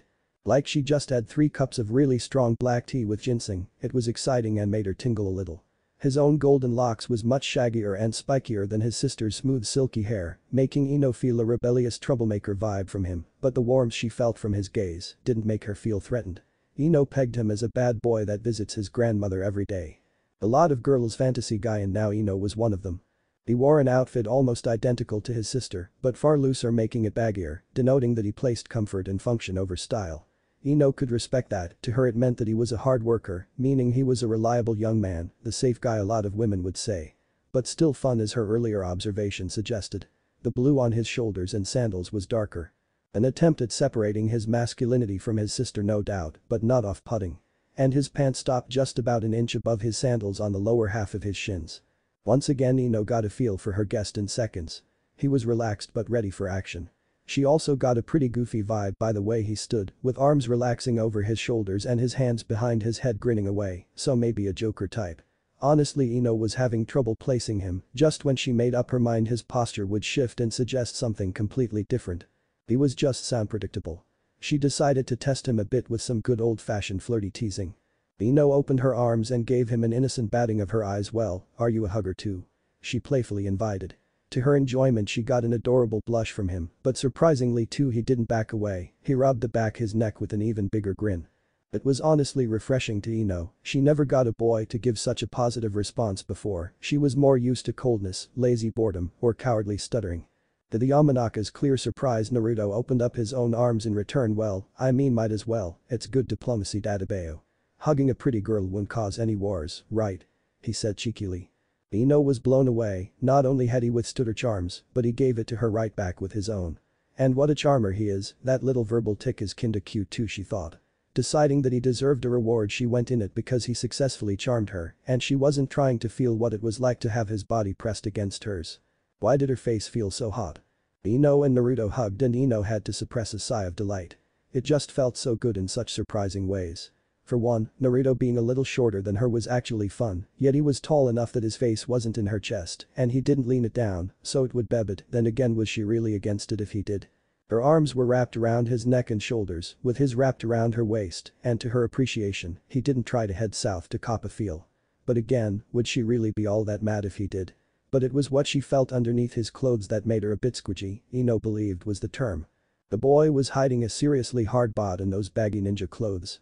Despite his smaller size he had some nice broad shoulders and she was certain rippling back muscles. His front was just as firm and she swore to Kami, all the Kai, and the sage of six paths that she could feel pecs and abs against her. Ino's hands kept feeling around trying to get a good image when it gripped something hard and round to things. Whatever they were it felt like a big lumps of steel in her hands. Ino was so busy, with her busy hands, she didn't notice that she had just grabbed Naruto's butt, drawing an adorable squeak from the boy. Naruko gasped wide-eyed, then covered her mouth in shock. And Karen smacked her face into both her hands with a loud slap. Naruto cleared his throat um, Ino. He said getting his fellow blonde's attention. Um she hummed with a smile on her face, eyes closed in contentment, nuzzling her cheek into his neck. Uh Naruto tried to get out your hands, oh well it's my ass he finally got out. It was exactly 10 long second for this information to register in her brain. But when it did her eyes flew open, she gave another experimental squeeze and indeed it felt like his buttock's really nice hard butt. Ino let go and shot away from him like he was made of fire, squeaking out a loud eep. Ino looked at him in horror and embarrassment. I, I, I, I, she stammered, did she seriously just grope Karen's cousin? Karen's foreign cousin oh, Okami. I'm gonna be the slutty girl other villages gossip about. She would have continued if the boy hadn't saved her from her own thoughts. Naruto, although blushing hard, didn't seem mad. But then again what healthy preteen boy would be? Ah uh, he tried it's fine Ino. He then chuckled and got his cheeky grin back man, if I knew leaf girls were so friendly, I would have visited sooner he teasingly joked. Ino snapped out of her stuttering and did a really angry pout, she looked like a red-faced kitten that was denied its saucer of cream, D don't get any ideas buddy, I'm not that kind of G-girl Ino said angrily. Naruto put up his hands placating her hey, you're the one who groped me he teased, clearly having too much fun with the girl who was stammering again at his jokes. Suddenly Naruto was knocked in the back of the head, launching him face first into the hard tile floor with great force at the cry of hentai baka. Sounding in the air. Naruko had come to her new friend's rescue, if she was mad at Ino for feeling up her brother, it was overridden by her anger at her perverted twin stupid teasing. Leave Ino-chan alone and I better not hear another stupid word out of you, or you're gonna get it Dadabara. She screamed, not able to keep back her own personal verbal tick. Naruto groaned, it was possible his nose was broken, I was only joking, you're so mean Naruko-chan he whined. Naruko just huffed not giving in to his pitiful moaning Aniki Baka, gods you are so annoying. Just then there was the bing bong sound again. Ino. We're home. Came the voice of Ino's father. In walked the owners of the shop and the heads of the Yamanaka clan, Inoichi and his wife Inamura.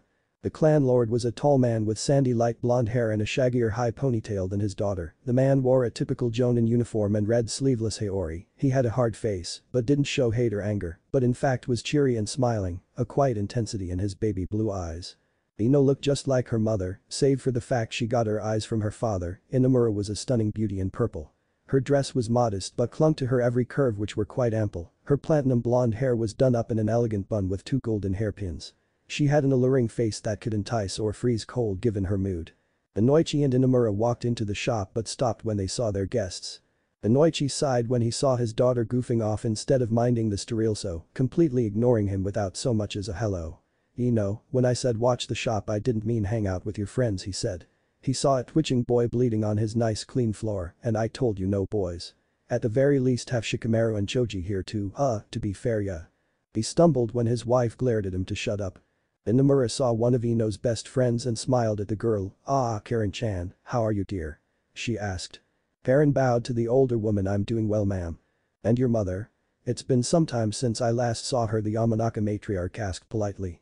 Oh, you know, there is always work on the cryptanalysis team the girl nonchalantly waved off. Ah, I hope she is getting enough sunlight. People and flowers are a lot alike you know, they both need lots of sunshine. Inamura then got a sly demure smile, maybe it's time she started thinking about dating again, get a boyfriend maybe, hmm. The girl's nervous sweating was all the woman needed to confirm something. Boyfriend? Ino said like the word rang a bell, she looked up placing her finger to her chin trying to remember. She then gasped boyfriend. She exclaimed, oh my kami. Karen did you hear? She asked excitedly. Iridiid sighed in annoyance no Ino, I'm not a gossip like you, I like to respect the privacy of others. She said adjusting her glasses. Well, you'll want to hear about this, guess who broke up with who? The blonde said with urgency. Karen sighed again rubbing her suddenly very tired eyes under her glasses, while her cousin stood to the side and watched with interest but completely ignoring the young male who was still on the floor groaning in pain. Alright the Uzumaki gave in so who is it? I know Shizune sensei didn't break up with Kakashi sensei, because I would have heard about it woman treats us like we're her own personal group therapy. She huffed out exasperated crossing her arms she's been threatening to do it for a month, either make him get rid of the porn and buy him a watch, or just dump him already. No but you're so telling me more later Ino said. Karen rolled her eyes and guessed again, I don't know Kurenai sensei finally broke up with Asuma sensei. Honestly, I saw that one coming, but I respect her for it, she honestly could do better than some chain smoker who thinks he looks so cool with that macho cowboy crap. Okay one, up yours that's my sensei, he's actually a sweet guy that needs to quit his disgusting habit, but still really sweet. Secondly, no. Ino retorted. I certainly can think of worse Inamura mumbled, right behind her there was green blur with a bad bowl cut, it whizzed by the entryway like a fox chasing a rabbit. The woman didn't see, but she shivered as if she could sense something disturbing. Inoichi was just staring at the boy on his floor, making sure he didn't have a lawsuit on his hands. Ino, I don't have all day the glasses wearing girl growled. Fine, you're no fun Ino said waving her hand in a flippant manner, but then she got serious a furious fire in her baby blues, the promise to painful death, Sasuke broke up with Sakura she said, if her words were any colder the flower shop would have turned into an ice cream parlor. What? Karen screeched. Yep, it was just yesterday Ino informed. She then went over to the counter and grabbed today's paper, tossing it to Karen read today's society column, you can't miss it it's the only story she said with disdain. Karen did as and read out loud today the noble Uchiha clan has made an announcement that brings great joy to the whole village, their honorable son Sasuke sweet high goddess it just goes on, blah blah blah, let's all kiss Sasuke's ass.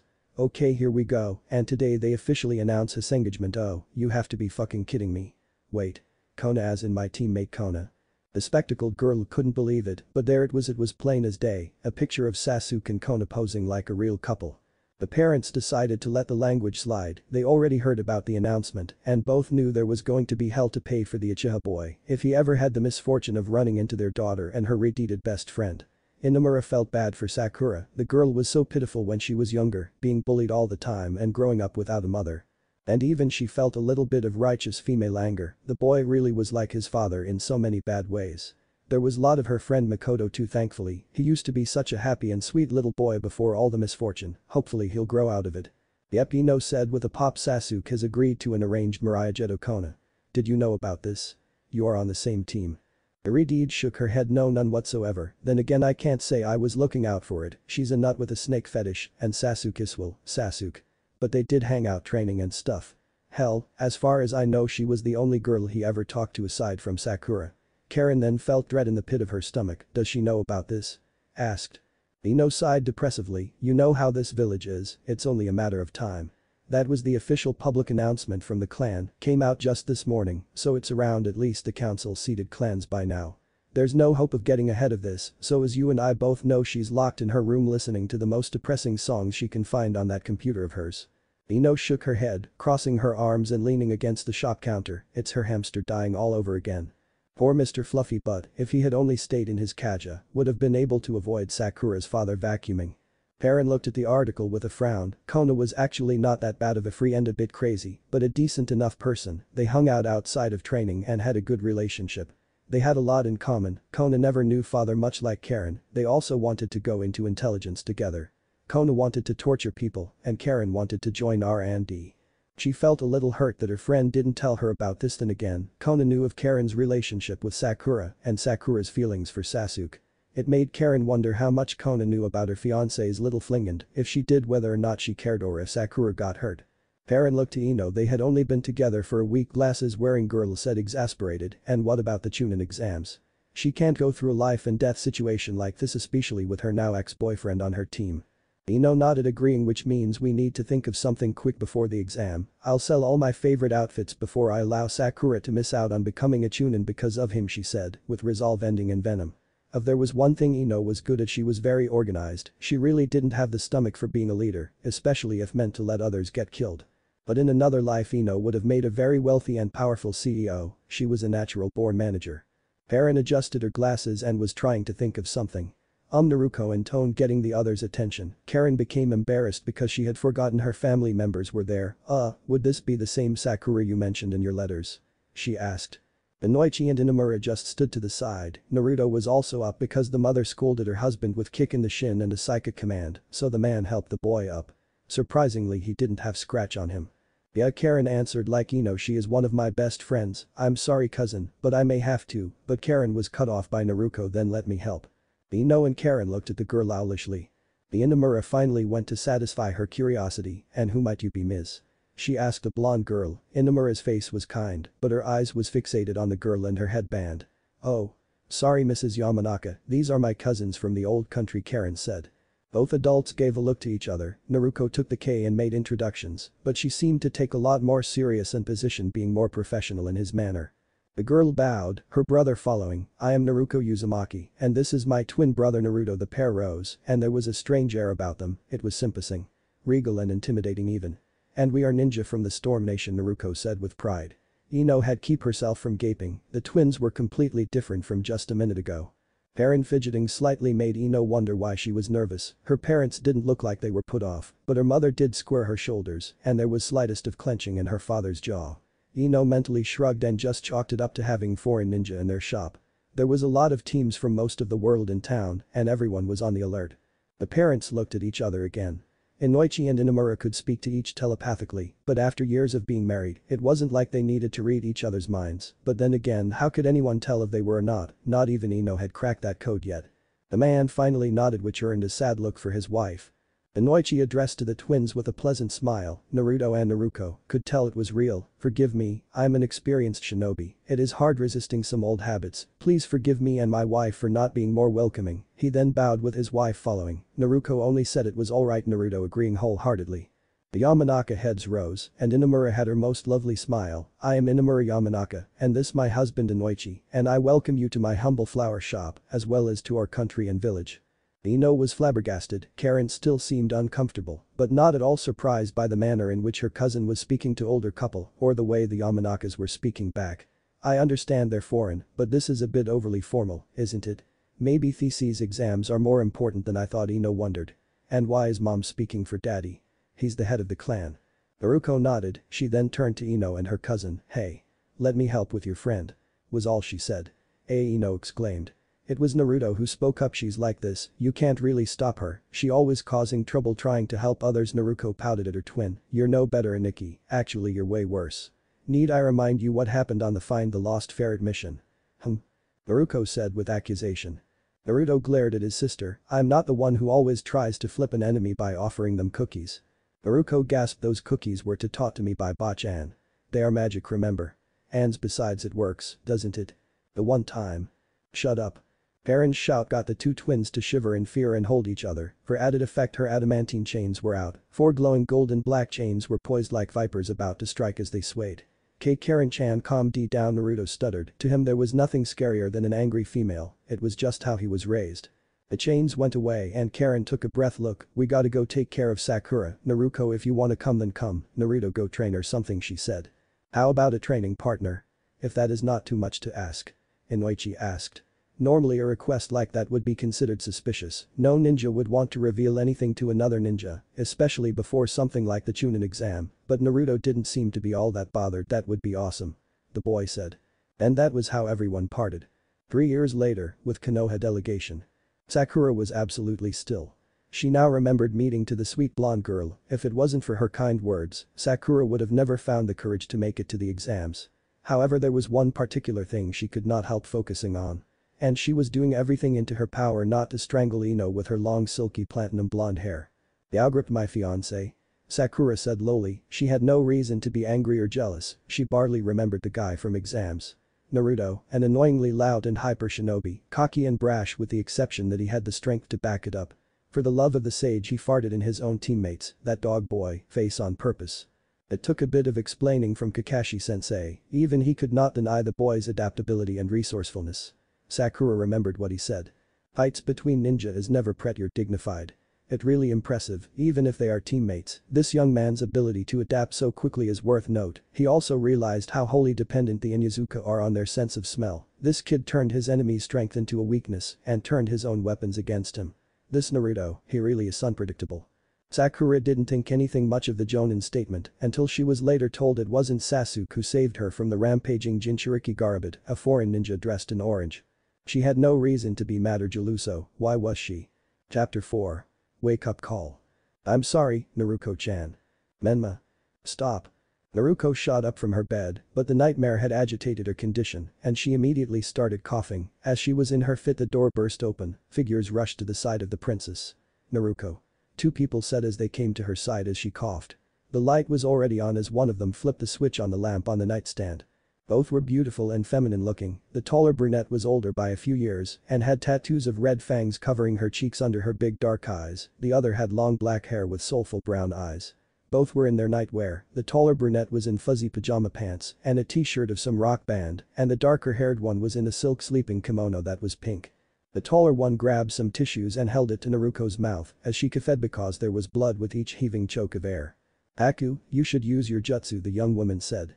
The identified Haku nodded and quickly weaved slender fingers into signs, Haku's hands glowed green and were placed on the ailing princess's back as it shook from her coughing, the oldest of the three spoke to her counterpart look after the princess, I'll go tell ma and she'll she was however cut off by Naruko no.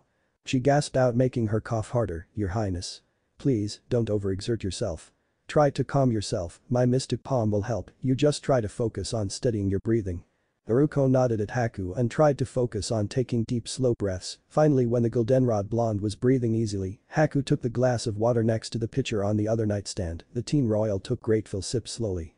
When she was done the princess looked to the older girl I'm fine now Hana, you don't need to bother Mrs. Zukair the queen. Both servants looked at each other, your highness, the queen gave us orders to report immediately if you had had any more troubles with your health. Haku said gently, the jutsu was finished, now that Naruko was breathing properly and the blood stemmed. Hana looked at her princess with worry Haku-kun is right Naruko Haim, her majesty was explicit that she be told if you ever had another attack. Please Hana Nichan. I don't want to wake up mama, Dadabara. It wasn't an attack, I just she trailed off not wanting to worry anyone. You had that nightmare again? Haku asked, knowing full well that was the case. Naruko just looked down tears welling up in her eyes. Please, I just don't want to worry her right now, with Naruto Aniki training still, and Sakura-chan coming soon the blonde royal was obviously giving meager excuses, the truth was after every time her condition became agitated or worsened her mother got more worried, resulting in Naruko losing more of her freedom as she was restricted further. As it was Naruko was barely allowed to leave her bed let alone the palace, official functions were the only time she got to see the outside world, but really it was her mother's face, every time Naruko had the slightest cough her mother would make this worried and scared face. Naruko always thought her mother was the most beautiful woman in the world, seeing her make that concerned panicked face, it just hurt more than her condition ever could.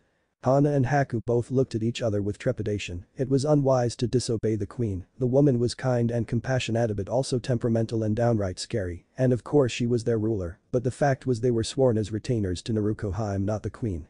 A directive decreed by the queen herself. Hana especially, for most of her life she had been vigorously trained to be her princess's loyal bodyguard who would give her life for the princess, what Naruko desired it was Hana's honor to fulfill even if it meant going against the queen's wishes. But it was also her job to protect the princess and do everything in her power to make sure she was cared for and stayed in as good health as they could for the rest of Naruko's life, may it be long. Hana sighed shaking her head okay, fine, as you wish my princess Naruko looked at her with her pretty smile, eyes dry and happy that Hana would oblige, but I'm getting Dr. Namikaze to come see you first thing in the morning and Ameno if she is available, is that understood? Naruko grinned, with her whisker-like marks giving her a fox-like appearance yes ma'am. Hana Nichan.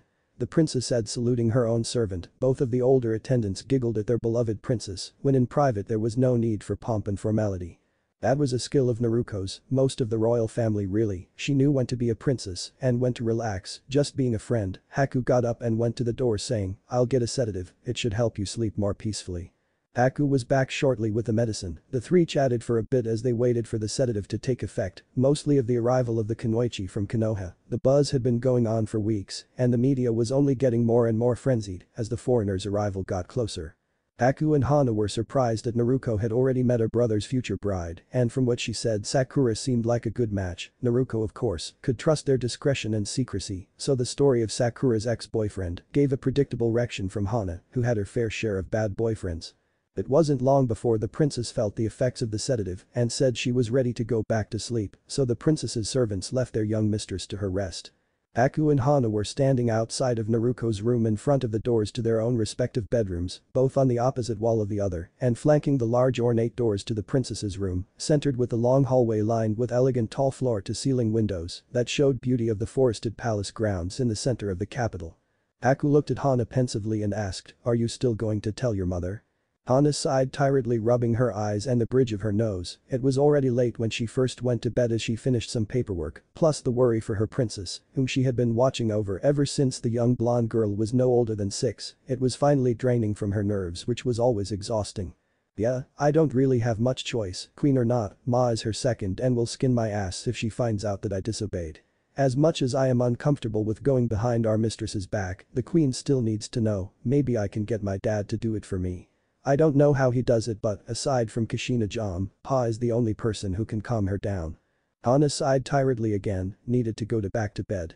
Either way, you know as much as I do that nothing can be hidden from her majesty, so there's no point in trying anyway. No, nothing can really escape the notice of Her Majesty Kushina Jam, that is for certain Haku smiled pleasantly. After three years of working together Hana knew enough by now when her partner was being mischievous, it made Hana think honestly, Haku-kun spends too much time around little bro and the first prince. I'm sure she may, perhaps, even be aware of a certain bodyguard and her secret second prince boyfriend who have been fooling around for a few years now. Or maybe that these young lovers has been having regular threesomes with a beautiful young Kunoichi, a certain ambassador from Suna, hmm. Haku suggestively teased. The older girl blushed profusely and looked away. I don't know what you're talking about she stated a little too quickly clearing her throat to control her blush and hide her obvious reaction. Haku only smirked slightly as I understand it, they have been getting pretty serious too, the three have started becoming a real throuple, that's why the second prince has volunteered, but before Haku could finish Hana snapped alright. I get it. She then covered her mouth realizing she was being too loud, the brown-haired young woman poked her head into the princess's chambers and sighed with relief that Naruko was still asleep. Hana glared at Haku who was smiling quite pleased don't worry, I gave her highness my strongest stuff, the only thing I have stronger is a senbon on the right spot. Hana closed the crack in the double stained glass doors, she crossed her arms over her mildly generous bust, you of all people shouldn't be talking about someone else's love life, how about that teammate of yours? Ms. Buns of Steel there. Haku was the one to raise an eyebrow now Tenten. What about her? Not getting the point, Hana actually gapped you can't be serious, you really have no clue. The what?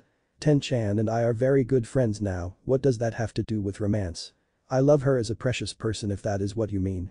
Haku asked genuinely puzzled, not realizing affectionate address.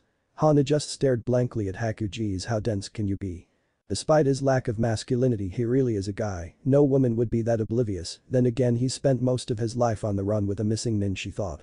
The bodyguard only shook her head at the other servant and waved it off never mind, it's late and we got work to do in the morning, the Konoha delegation is expected sometime tomorrow, Hana said, not mentioning that they always had work to do, a royal retainer was on the clock 24-7 365. But Haku noticed the look in Hana's eyes at the mention of the Leaf Village. Haku tilled his head ninja still make you uneasy he stated knowingly. Hana made a face scrunching up her nose and twisting her mouth no, not really, I've come to accept that they are just another kind of warrior like any other more or less. I like you well enough, don't I? I mean, most Gunjin like myself still use ninjutsu in small doses, and my clan still teaches the original Inuzuka techniques, even though we don't use our animal partners anymore in the field. Hana just shook her head scratching her loose brown hair with claw-like nails I'm fine, I just need to get to bed she turned around and opened the door to her bedroom suite and covered a yawn good night Haku-kun. Good night Ms. Hana the androgynous young man said and went into his own room, feeling tired as well. Besides, Haku was already aware that his fellow attendant didn't like these future dealings with her place of birth, it must be very strange for her he thought. Before he could think further, he stifled a yawn of his own, Haku then shrugged forgetting about it for now and went to bed. Hana closed the door behind her and went to her own bed, three very large dogs circled around it sleeping soundly, she called them her triplets, and they were her babies. But she stopped when she realized she almost forgot something, she held up her forearms palms up and closed her eyes. As if manifesting from thin air, a sheathed katana appeared in her hands. She went over to an altar-like alcove in the wall, in it there was a stand made of dark lacquered wood. Hana reverently placed the mysterious sword onto its altar and kneeled, offering a prayer to the gods my Zanpakuton born from my very heart and imbued with my soul, through my trials, I am forged into a living weapon, may the gods keep me sharp so that I may continue to serve their will. The next morning, Wave Country. Ever since the intervention of a group of young ninja, the redemption and death of Zabuza Momochi who killed Gato, a gangster who would see himself turned into a tyrant king. The land of waves has come to a peace and prosperity that it has never seen before, all of Gato's shipping company was liquidated and sold to a holdings firm, all of what was found in Gato's hideout was given back to the people, as for his ships, the whole fleet was dismantled and replaced. The new owner, an enterprising young man, replaced the old wooden sail ships with modern steel and motor cruise liners, powered by massive electric generators. The cruise liners brought much needed tourism, the new money gave the opportunity for locals to purchase new ships of their own or resume their fishing trade. The new management even spared no expense to fix up the local town near the harbor, now known as Hashi Town, determined to make his company one that would be in service the small island nation. There was a huge boom of jobs, whether building new ships and companies or the now bustling resort trade growing on the small island, Wave Country was becoming a true destination spot and was already forgetting the hardship hat was under Gato's greed and cruelty. The Konoha delegation had made it in good time and now was waiting for the escort that would take them the rest of the way to the Storm Nation. The members of Team 7 was surprised that people recognized them, the team didn't do much. While they were in Wave they distributed humanitarian aid supplies, the reason why Tazuna was in Konoha, the small act though was enough for the people to remember them. Sakura especially as she had been a great influence on the children, a little girl she had given candy to, ran right up to her and hugged her, and did some medic service for those who had been sick without treatment. The young Kunoichi had single-handedly rebooted Heathcare on the island, Sakura had been hailed as much as a hero as the ninja that saved the country, much to her embarrassment. The delegation had found a cute bed and breakfast that recently opened that was also owned and run by a familiar face. Sasuke Uchiha had most of his life planned out, whether by his clan obligations or his own goals, but no amount of planning can really prepare you for when it's finally time to cross one bridge or another. Case in point nude young woman snuggling up against him, her breasts pleasantly pressed on his chest, he mildly noted in the back of his head, she was neither too big nor too small, maybe he can ask her bra size, hopefully she won't mind, they were married after all. Sasuke had been awake for a while, he had gotten plenty of sleep and was well rested very much so, Kono was not as subdued as other Uchiha. Maybe it was because she was half Uchiha, with her dark violet hair and aggressive, nearly violent, attitude, either way she was exceptionally uninhibited when it came to marital activities. The last few nights, they could be up until dawn, Sasuke would be so tired a few minutes is as good as a few hours. At first Sasuke thought marrying Kona would just be out of duty, like so many other arranged marriages, but Kona didn't want it to be like that and made it clear that they would at least be friends, who also had sex. They would spend the last few years of the academy getting to know each other in secret after school. They would walk home together, train together, get snacks, after nearly getting his hand stabbed, Sasuke learned to never touch Kona's precious dango, they would even sit at his favorite spot on the dock at the lake. Soon enough, they became close, love was still a strong word for both of them, even though they were married. But they cared about each other, and Sasuke honestly liked her. His new bride had to be the only girl Sasuke had ever met who didn't have an infatuation with him, not at first. In fact she would pick on him a lot when they were younger, still does, she would call him girly looking and unmanly, she was also more dedicated to her training. They would spar in class, and she was the only student in his year that could beat him in a fight and she never put up with any grief, especially from Sasuke. Kona was just right for him. Kona stirred and moaned a little, somehow stretching enticingly while still in her snuggled position, why do you have to wake up so early all the time? You're too loud when you think she mumbled. Sasuke grunted like he always did earning a stinging slap on his bare chest, Kona made a rule he was not allowed to respond non-verbally to her, so he responded wincing, that doesn't make sense, you can't hear my thoughts he said. Kona opened one dark onyx eye looking at his pair that matched hers. I'm your wife, I can read your mind she said plainly, then closed her eye again and rubbed her soft cheek contently against his chest, Sasuke actually chuckled at that making Kona lift her head up, not liking her pillow moving and disturbing her sleep. Sasuke looked at her in the eyes, they were exactly like his, given they were Sharingan in their neutral deactivated state, but there's something about staring into her eyes it was different. It wasn't like seeing a fellow clansman, a family member, she was unique. Kona's eyes were not as cold, yet somehow more intimidating, there was a certain thrill looking into them. Sasuke knew her life, about her mother and her absent father, about her hopes and fears. They were on the same path, and they would walk it together, all that was left was stay the curse and let no one stand in their way. Kona stared at her husband for a little longer, she could honestly say she was maybe starting to love him at this point and she knew he was starting to love her too. It was just the words that were a lot more difficult after tying the knot and making love, how can a few words still feel softenal? But right now Kona was awake, she looked at the clock absently seeing it was 7.30, just after dawn with the sun already shining brightly. Well, if we're already both up she thought smirking. Sasuke knew that smirk, he looked at her neutrally no he only said, she looked at him unimpressed yes she replied, like it wasn't his decision. Kona took no small pleasure in the knowledge that she was the only girl who knew what Sasuke Uchiha looked like when he was flustered, and mostly from being fucked. It was a lot like his broody someone pissed in my cereal look, except he blushed and his eyes darted around like he was trapped and looking for an escape. Heh, if he wasn't such an asshole all the time, I could almost see why he has so many sluts chasing him. Asshole, hmm, there's an Adina. He'll never let me do that to him yet Kona was brought out of her musings when she felt something hard poking her hip.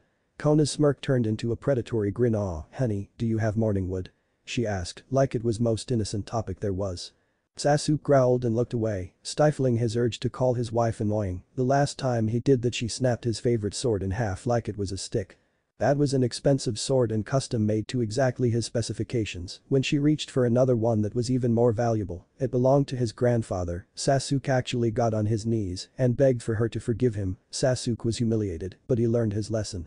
Come on honey the sooner you admit you can't say no to me, the sooner you get something and I see the violet-haired Uchiha purred, Sasuke was still looking away blushing like mad and pouting, you can't just treat me like a toy all the time and expect sex, I'm still sore from last night Kona he explained. Kona kissed his chin I know you're not used to it yet, but you will be soon enough, I can't help it if I like taking charge or being a bit too rough. It's just my nature. We're going to my country and in Arashi women are on top speaking of which she sat up straddling her husband making Sasuke grunt as her area slid against torturing people, it seemed, got her off. We have a belief in the Storm Nation about how women should treat their men.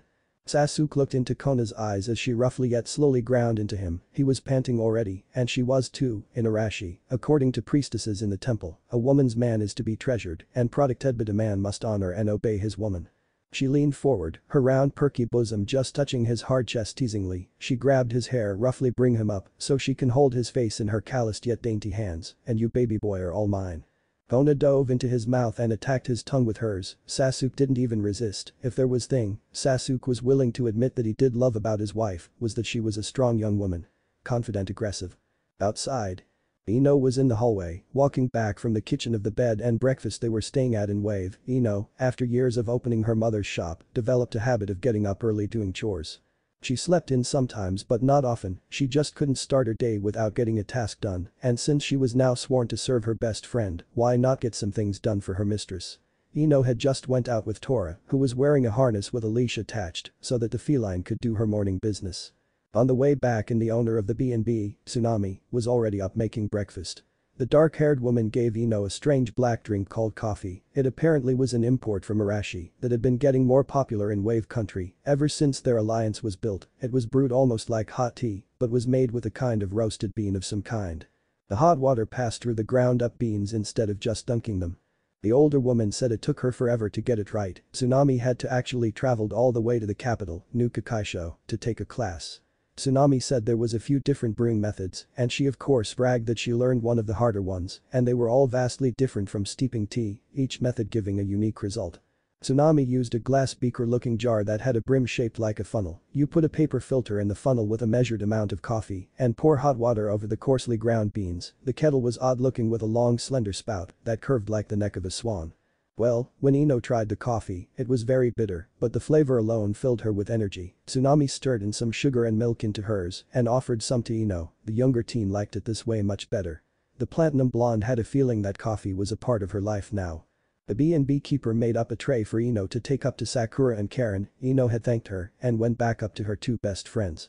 Unfortunately, as she was walking down the hall, which according to Sakura was much longer than her last visit to Tsunami's house, there must have been a remodel, as Ino passed the door occupied by a pair of Uchiha newlyweds, she heard something that was well. Oh, gods. Yes. Come on pretty boy, give mommy what she wants. Ah. Fuck. K Kona. Please, you're too ah. Too rough. Come on sugar. You can do it. You can do it. Ah. Oh fucking sage. Yes. Give it to mommy. I'm coming. Ino was blushing madly, both out of embarrassment and irritation, the former Yamanaka still didn't forgive them. Sasuke for being just a plain asshole most of their lives and for leading Sakura on. But Kona, Ino had learned it was her idea for Sasuke to go out with Sakura, Karen as Kona's teammate had gotten her side. Some sob story about being sent away from home by her mother, who still visited often, an abusive father who ran off, and being forced into an arranged marriage so that she can have a Konoha citizenship. Kona just wanted to see what it was like to actually date around, she told Sasuke to go on a few dates too, but he only went out with just Sakura. Ino hated that she couldn't fault them for trying to work it out or doing what newlyweds do on what technically was their honeymoon, a working one, but then again there wasn't anything stopping her either. Sage damned Uchiha, going at it so early in the morning, not caring about who might be Ino's voice stopped working when her blood went cold as her stomach dropped, she quickly went to her room that she was sharing with Sakura and Karen right next door to Sasuke's and Kona's. Ino balanced the tray on one hand, mad shopgirl skill, and opened the door to her temporary quarters. She saw exactly what she was afraid of, Sakura was awake sitting up on the bed they were sharing holding her knees up to her chest. Oh honey was all Ino could say as she placed the tray of coffee on a small low table in front of a couch. Ino went to Sakura's side and held her, I'm fine Ino Sakura mumbled, Ino frowned not believing her. It was finally quiet now and Ino could hear the shower in the attached bathroom running, it must have been Karen, sure enough the bathroom door opened up out walked Karen.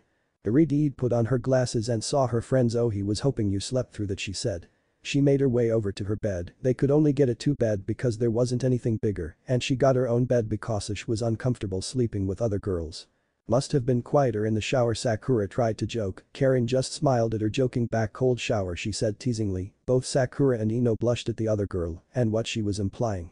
You see Karen was pansexual, she didn't care what the other person was, as long as they was a warm body and relatively attractive to her, but she preferred only one person at a time.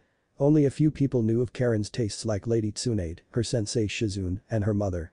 The unfortunate thing was homosexuality, transgender, etc was still not accepted in most parts of the world, especially in hidden villages where the size of a fighting force is dependent on how many babies are born, it wasn't like Karen didn't want child wrench thinks.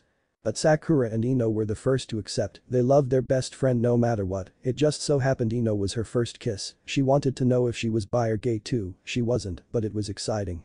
Konoha was the best of them, at the most marriage between partners of the same sex wasn't legal, but in other countries and villages you could face imprisonment. Or in Iwa's execution. Hey.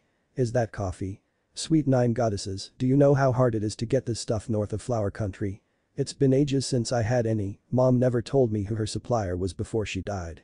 Karen sat on the couch still in her towel and poured herself a cup, she drank it black like a true coffee aficionado reveling in the taste, she sighed happily, finally having her true love back. Ino rolled her eyes, oh come on don't tell me you still have a crush on those two. Karen always denied it, but she was a bit of a closet pervert, something Ino teased her about a lot. The former Yamanaka was convinced Karen also had a crush on Sasuke, like so many other girls, and later Kona, but Karen would vehemently deny it. Karen would have raved angrily, but finally having her beloved coffee after so long she was in too much in a good mood. Look Ino, just because someone is admittedly hot doesn't mean you have to have a crush on them, I can separate physical attraction my own feelings. My horny from heart. Wish I learned how to do that Sakura sighed. Ino and Karen looked at her bug-eyed, they never thought in a million years the pincat would ever admit that her feeling were just a horny crush. Sakura looked at them seriously let's face it, I only liked him because of his looks and because he was cool she admitted. Karen looked at Ino and the other back, they pretty much agreed that was the case, but Sakura had enough insecurities and self-doubt as it was. Karen put her mug down sweetie she said looking at her best friend, that may be the case, but that doesn't mean how you felt wasn't any less real, maybe it was in wrong place and for the wrong reasons buddy were important to you, and that's all that matters. Sakura smiled appreciating Karen's insight, the other girl was kin to their group's mom in her own right. Thanks Karen, sometimes you're just like your mom, you sound like her you know that. Karen smirked playfully goodness, that means I have to adopt Ino, what am I going to do with a daughter who's a bad spray tan from becoming a gyre she lamented. Hey. Ino said in anger, Karen looked at the blonde like she was scolding a child, don't you hate me young lady, look at you, aren't you supposed to be a lady in waiting? And you are just sitting there talking about crushes while Sakura-chan's coffee gets cold, my goodness. Yeah I know it, what's coffee? And the banter went on for a few more minutes as they all got dressed, while Karen and Ino taught Sakura about the miraculous brew, Sakura was believer at first sip, the girls went down to breakfast and enjoyed it with the rest of the delegation. So, you're going to marry a Prince Sakura-san, how wonderful. Tsunami gushed. She was a slender woman in typical housewife's clothes, with long black hair and a simple but no less stunning beauty, it's like a fairy tale. Sakura nervously laughed, feeling embarrassed, ah w well she tried to say. What could she say? By all means it really was a fairy tale, certainly felt unrealistic, but there was a huge difference between a story and living it in real life. Don't worry Sakura ni, Naruto Nai is a great guy. Inari said happily, the bucket hat wearing boy seemed to worship the prince as a personal hero. His face then got dark and ominous, but if he ever hurts you, I will hurt him, Inari also had a little crush on his Nichin. Oh, Sakura-san. My beautiful Sakura-san. Lee wailed, to have you taken away by a foreign stranger. He then got serious holding up his fist I must fight him and win you back. Or at very least make him prove his worth to be Lee could not go on his golden chains and black snakes came at him on both sides.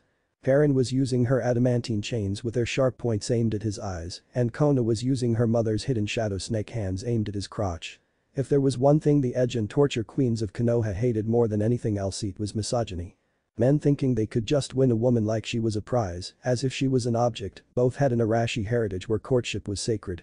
Junin Lee Tsunade said in her most commanding Hokage's voice, from this point on you will remain silent unless spoken to, and then you will keep your responses brief and at a low volume she said, growling out that last bit. The fifth Hokage looked around at all present. Besides Sakura and her group and the newly wedded Uchiha, there was Mikoto Uchiha present to represent the clan lords, the sensei of the three teams that graduated Sakura's year, Shizune excluded, and Team 9, the daimyo and his staff, and the remaining two elders of Tsunade's advisors. There was also what remained of the teams, a few were missing due to Sai turning out to be a brainwashed drone, and Karen's teammate Shino taking over for his late father's position as clan head. Team 9 was also missing their Kunoichi member, as she had resigned her commission claiming, I can't fucking take it anymore, I never want to hear the word youth ever again. Everyone must be on their best behavior, Arashi is not like any country you have seen before, its people and culture are very different from the rest of the world. The royal Uzumaki clan most importantly, they are an aggressive and wild clan to say the least. The biggest reason we are trying to avoid war and make peace with them is because Arashi's military main specialty is conquering other countries. The queen, Her Majesty Kushina Jam, in particular has a very volatile temper and she has been known to execute anyone that has insulted her on the spot most of the time by her own hand. Everyone looked around nervously, Sakura was especially scared, the queen was supposed to be mother-in-law soon. Well, Tsunade-chan the fire daimyo said in a lazy and uncaring manner, I'm sure Kushina is a reasonable woman. Tsunade tried not to frown at her feudal lord, she never liked him, he was ineffective as a ruler and worse. Daimyo-sama. There is no doubt that this Uzumaki woman will be honored to be in alliance and serve his lordship. One of the daimyo's advisors stated. Tsunade cleared her throat, I'm sure her majesty understands the benefits of this union, but I must remind his lordship that the Storm Nation is a true monarchy. There is no feudal lords and has not recognized the daimyo since the fall of the shogunate. Most of all the people the Storm Nation pride themselves on liberty and constitutional rights. I would advise that his lordship remember that this alliance is between Konoha and the Uzumaki clan, as we the only recognized military might, and we cannot afford to go into a costly war with them. The Uzumaki's personal army, the Guntai, is very powerful even more than our own. If we were to go to war with them Tsunade was however cut off by Homura. We would still win as we are ninja, and this Guntai has no knowledge of ninjutsu, I assure you Daimyo-sama, these brutes will surely see that the Hidden Leaf and his lordship are a power they cannot compare and will be grateful to his lordship. Tsunade glared her two advisors and their ignorance, but she kept quiet as the fire daimyo was quite pleased with the untrue statement. Sakura noticed that Karen too was not happy with the elder's statement either. Breakfast continued and it was decidedly steered away from politics. At 10 o'clock Sakura and her friends were in the family's private living room, closed off from the rest of the renovations, so Tsunami and her family can have a space to themselves. Suddenly Ino perked up a bit looking around what that hell is that? She asked. At first no one knew what she was talking about, that was until Sakura heard a steady thrumming noise and it was getting louder. Tsunade looked up smiling, it appears our escort has arrived. She got up and out to the front yard, followed by the rest of the delegation. The yard was a very large patch of grass as big as a training ground, the wind was picking up and the noise was getting louder, making chuha chuha chuha sound. It was Ino who so elegantly stated what everyone was thinking. What the fuck is that? What if Kaguya Otsutsuki give all chakra to Naruto and thanks for watching my video till the end. If you enjoy this content then do consider subscribing to my channel and leave a like if you guys need the next part comment down and thanks for watching the video and see you guys next video.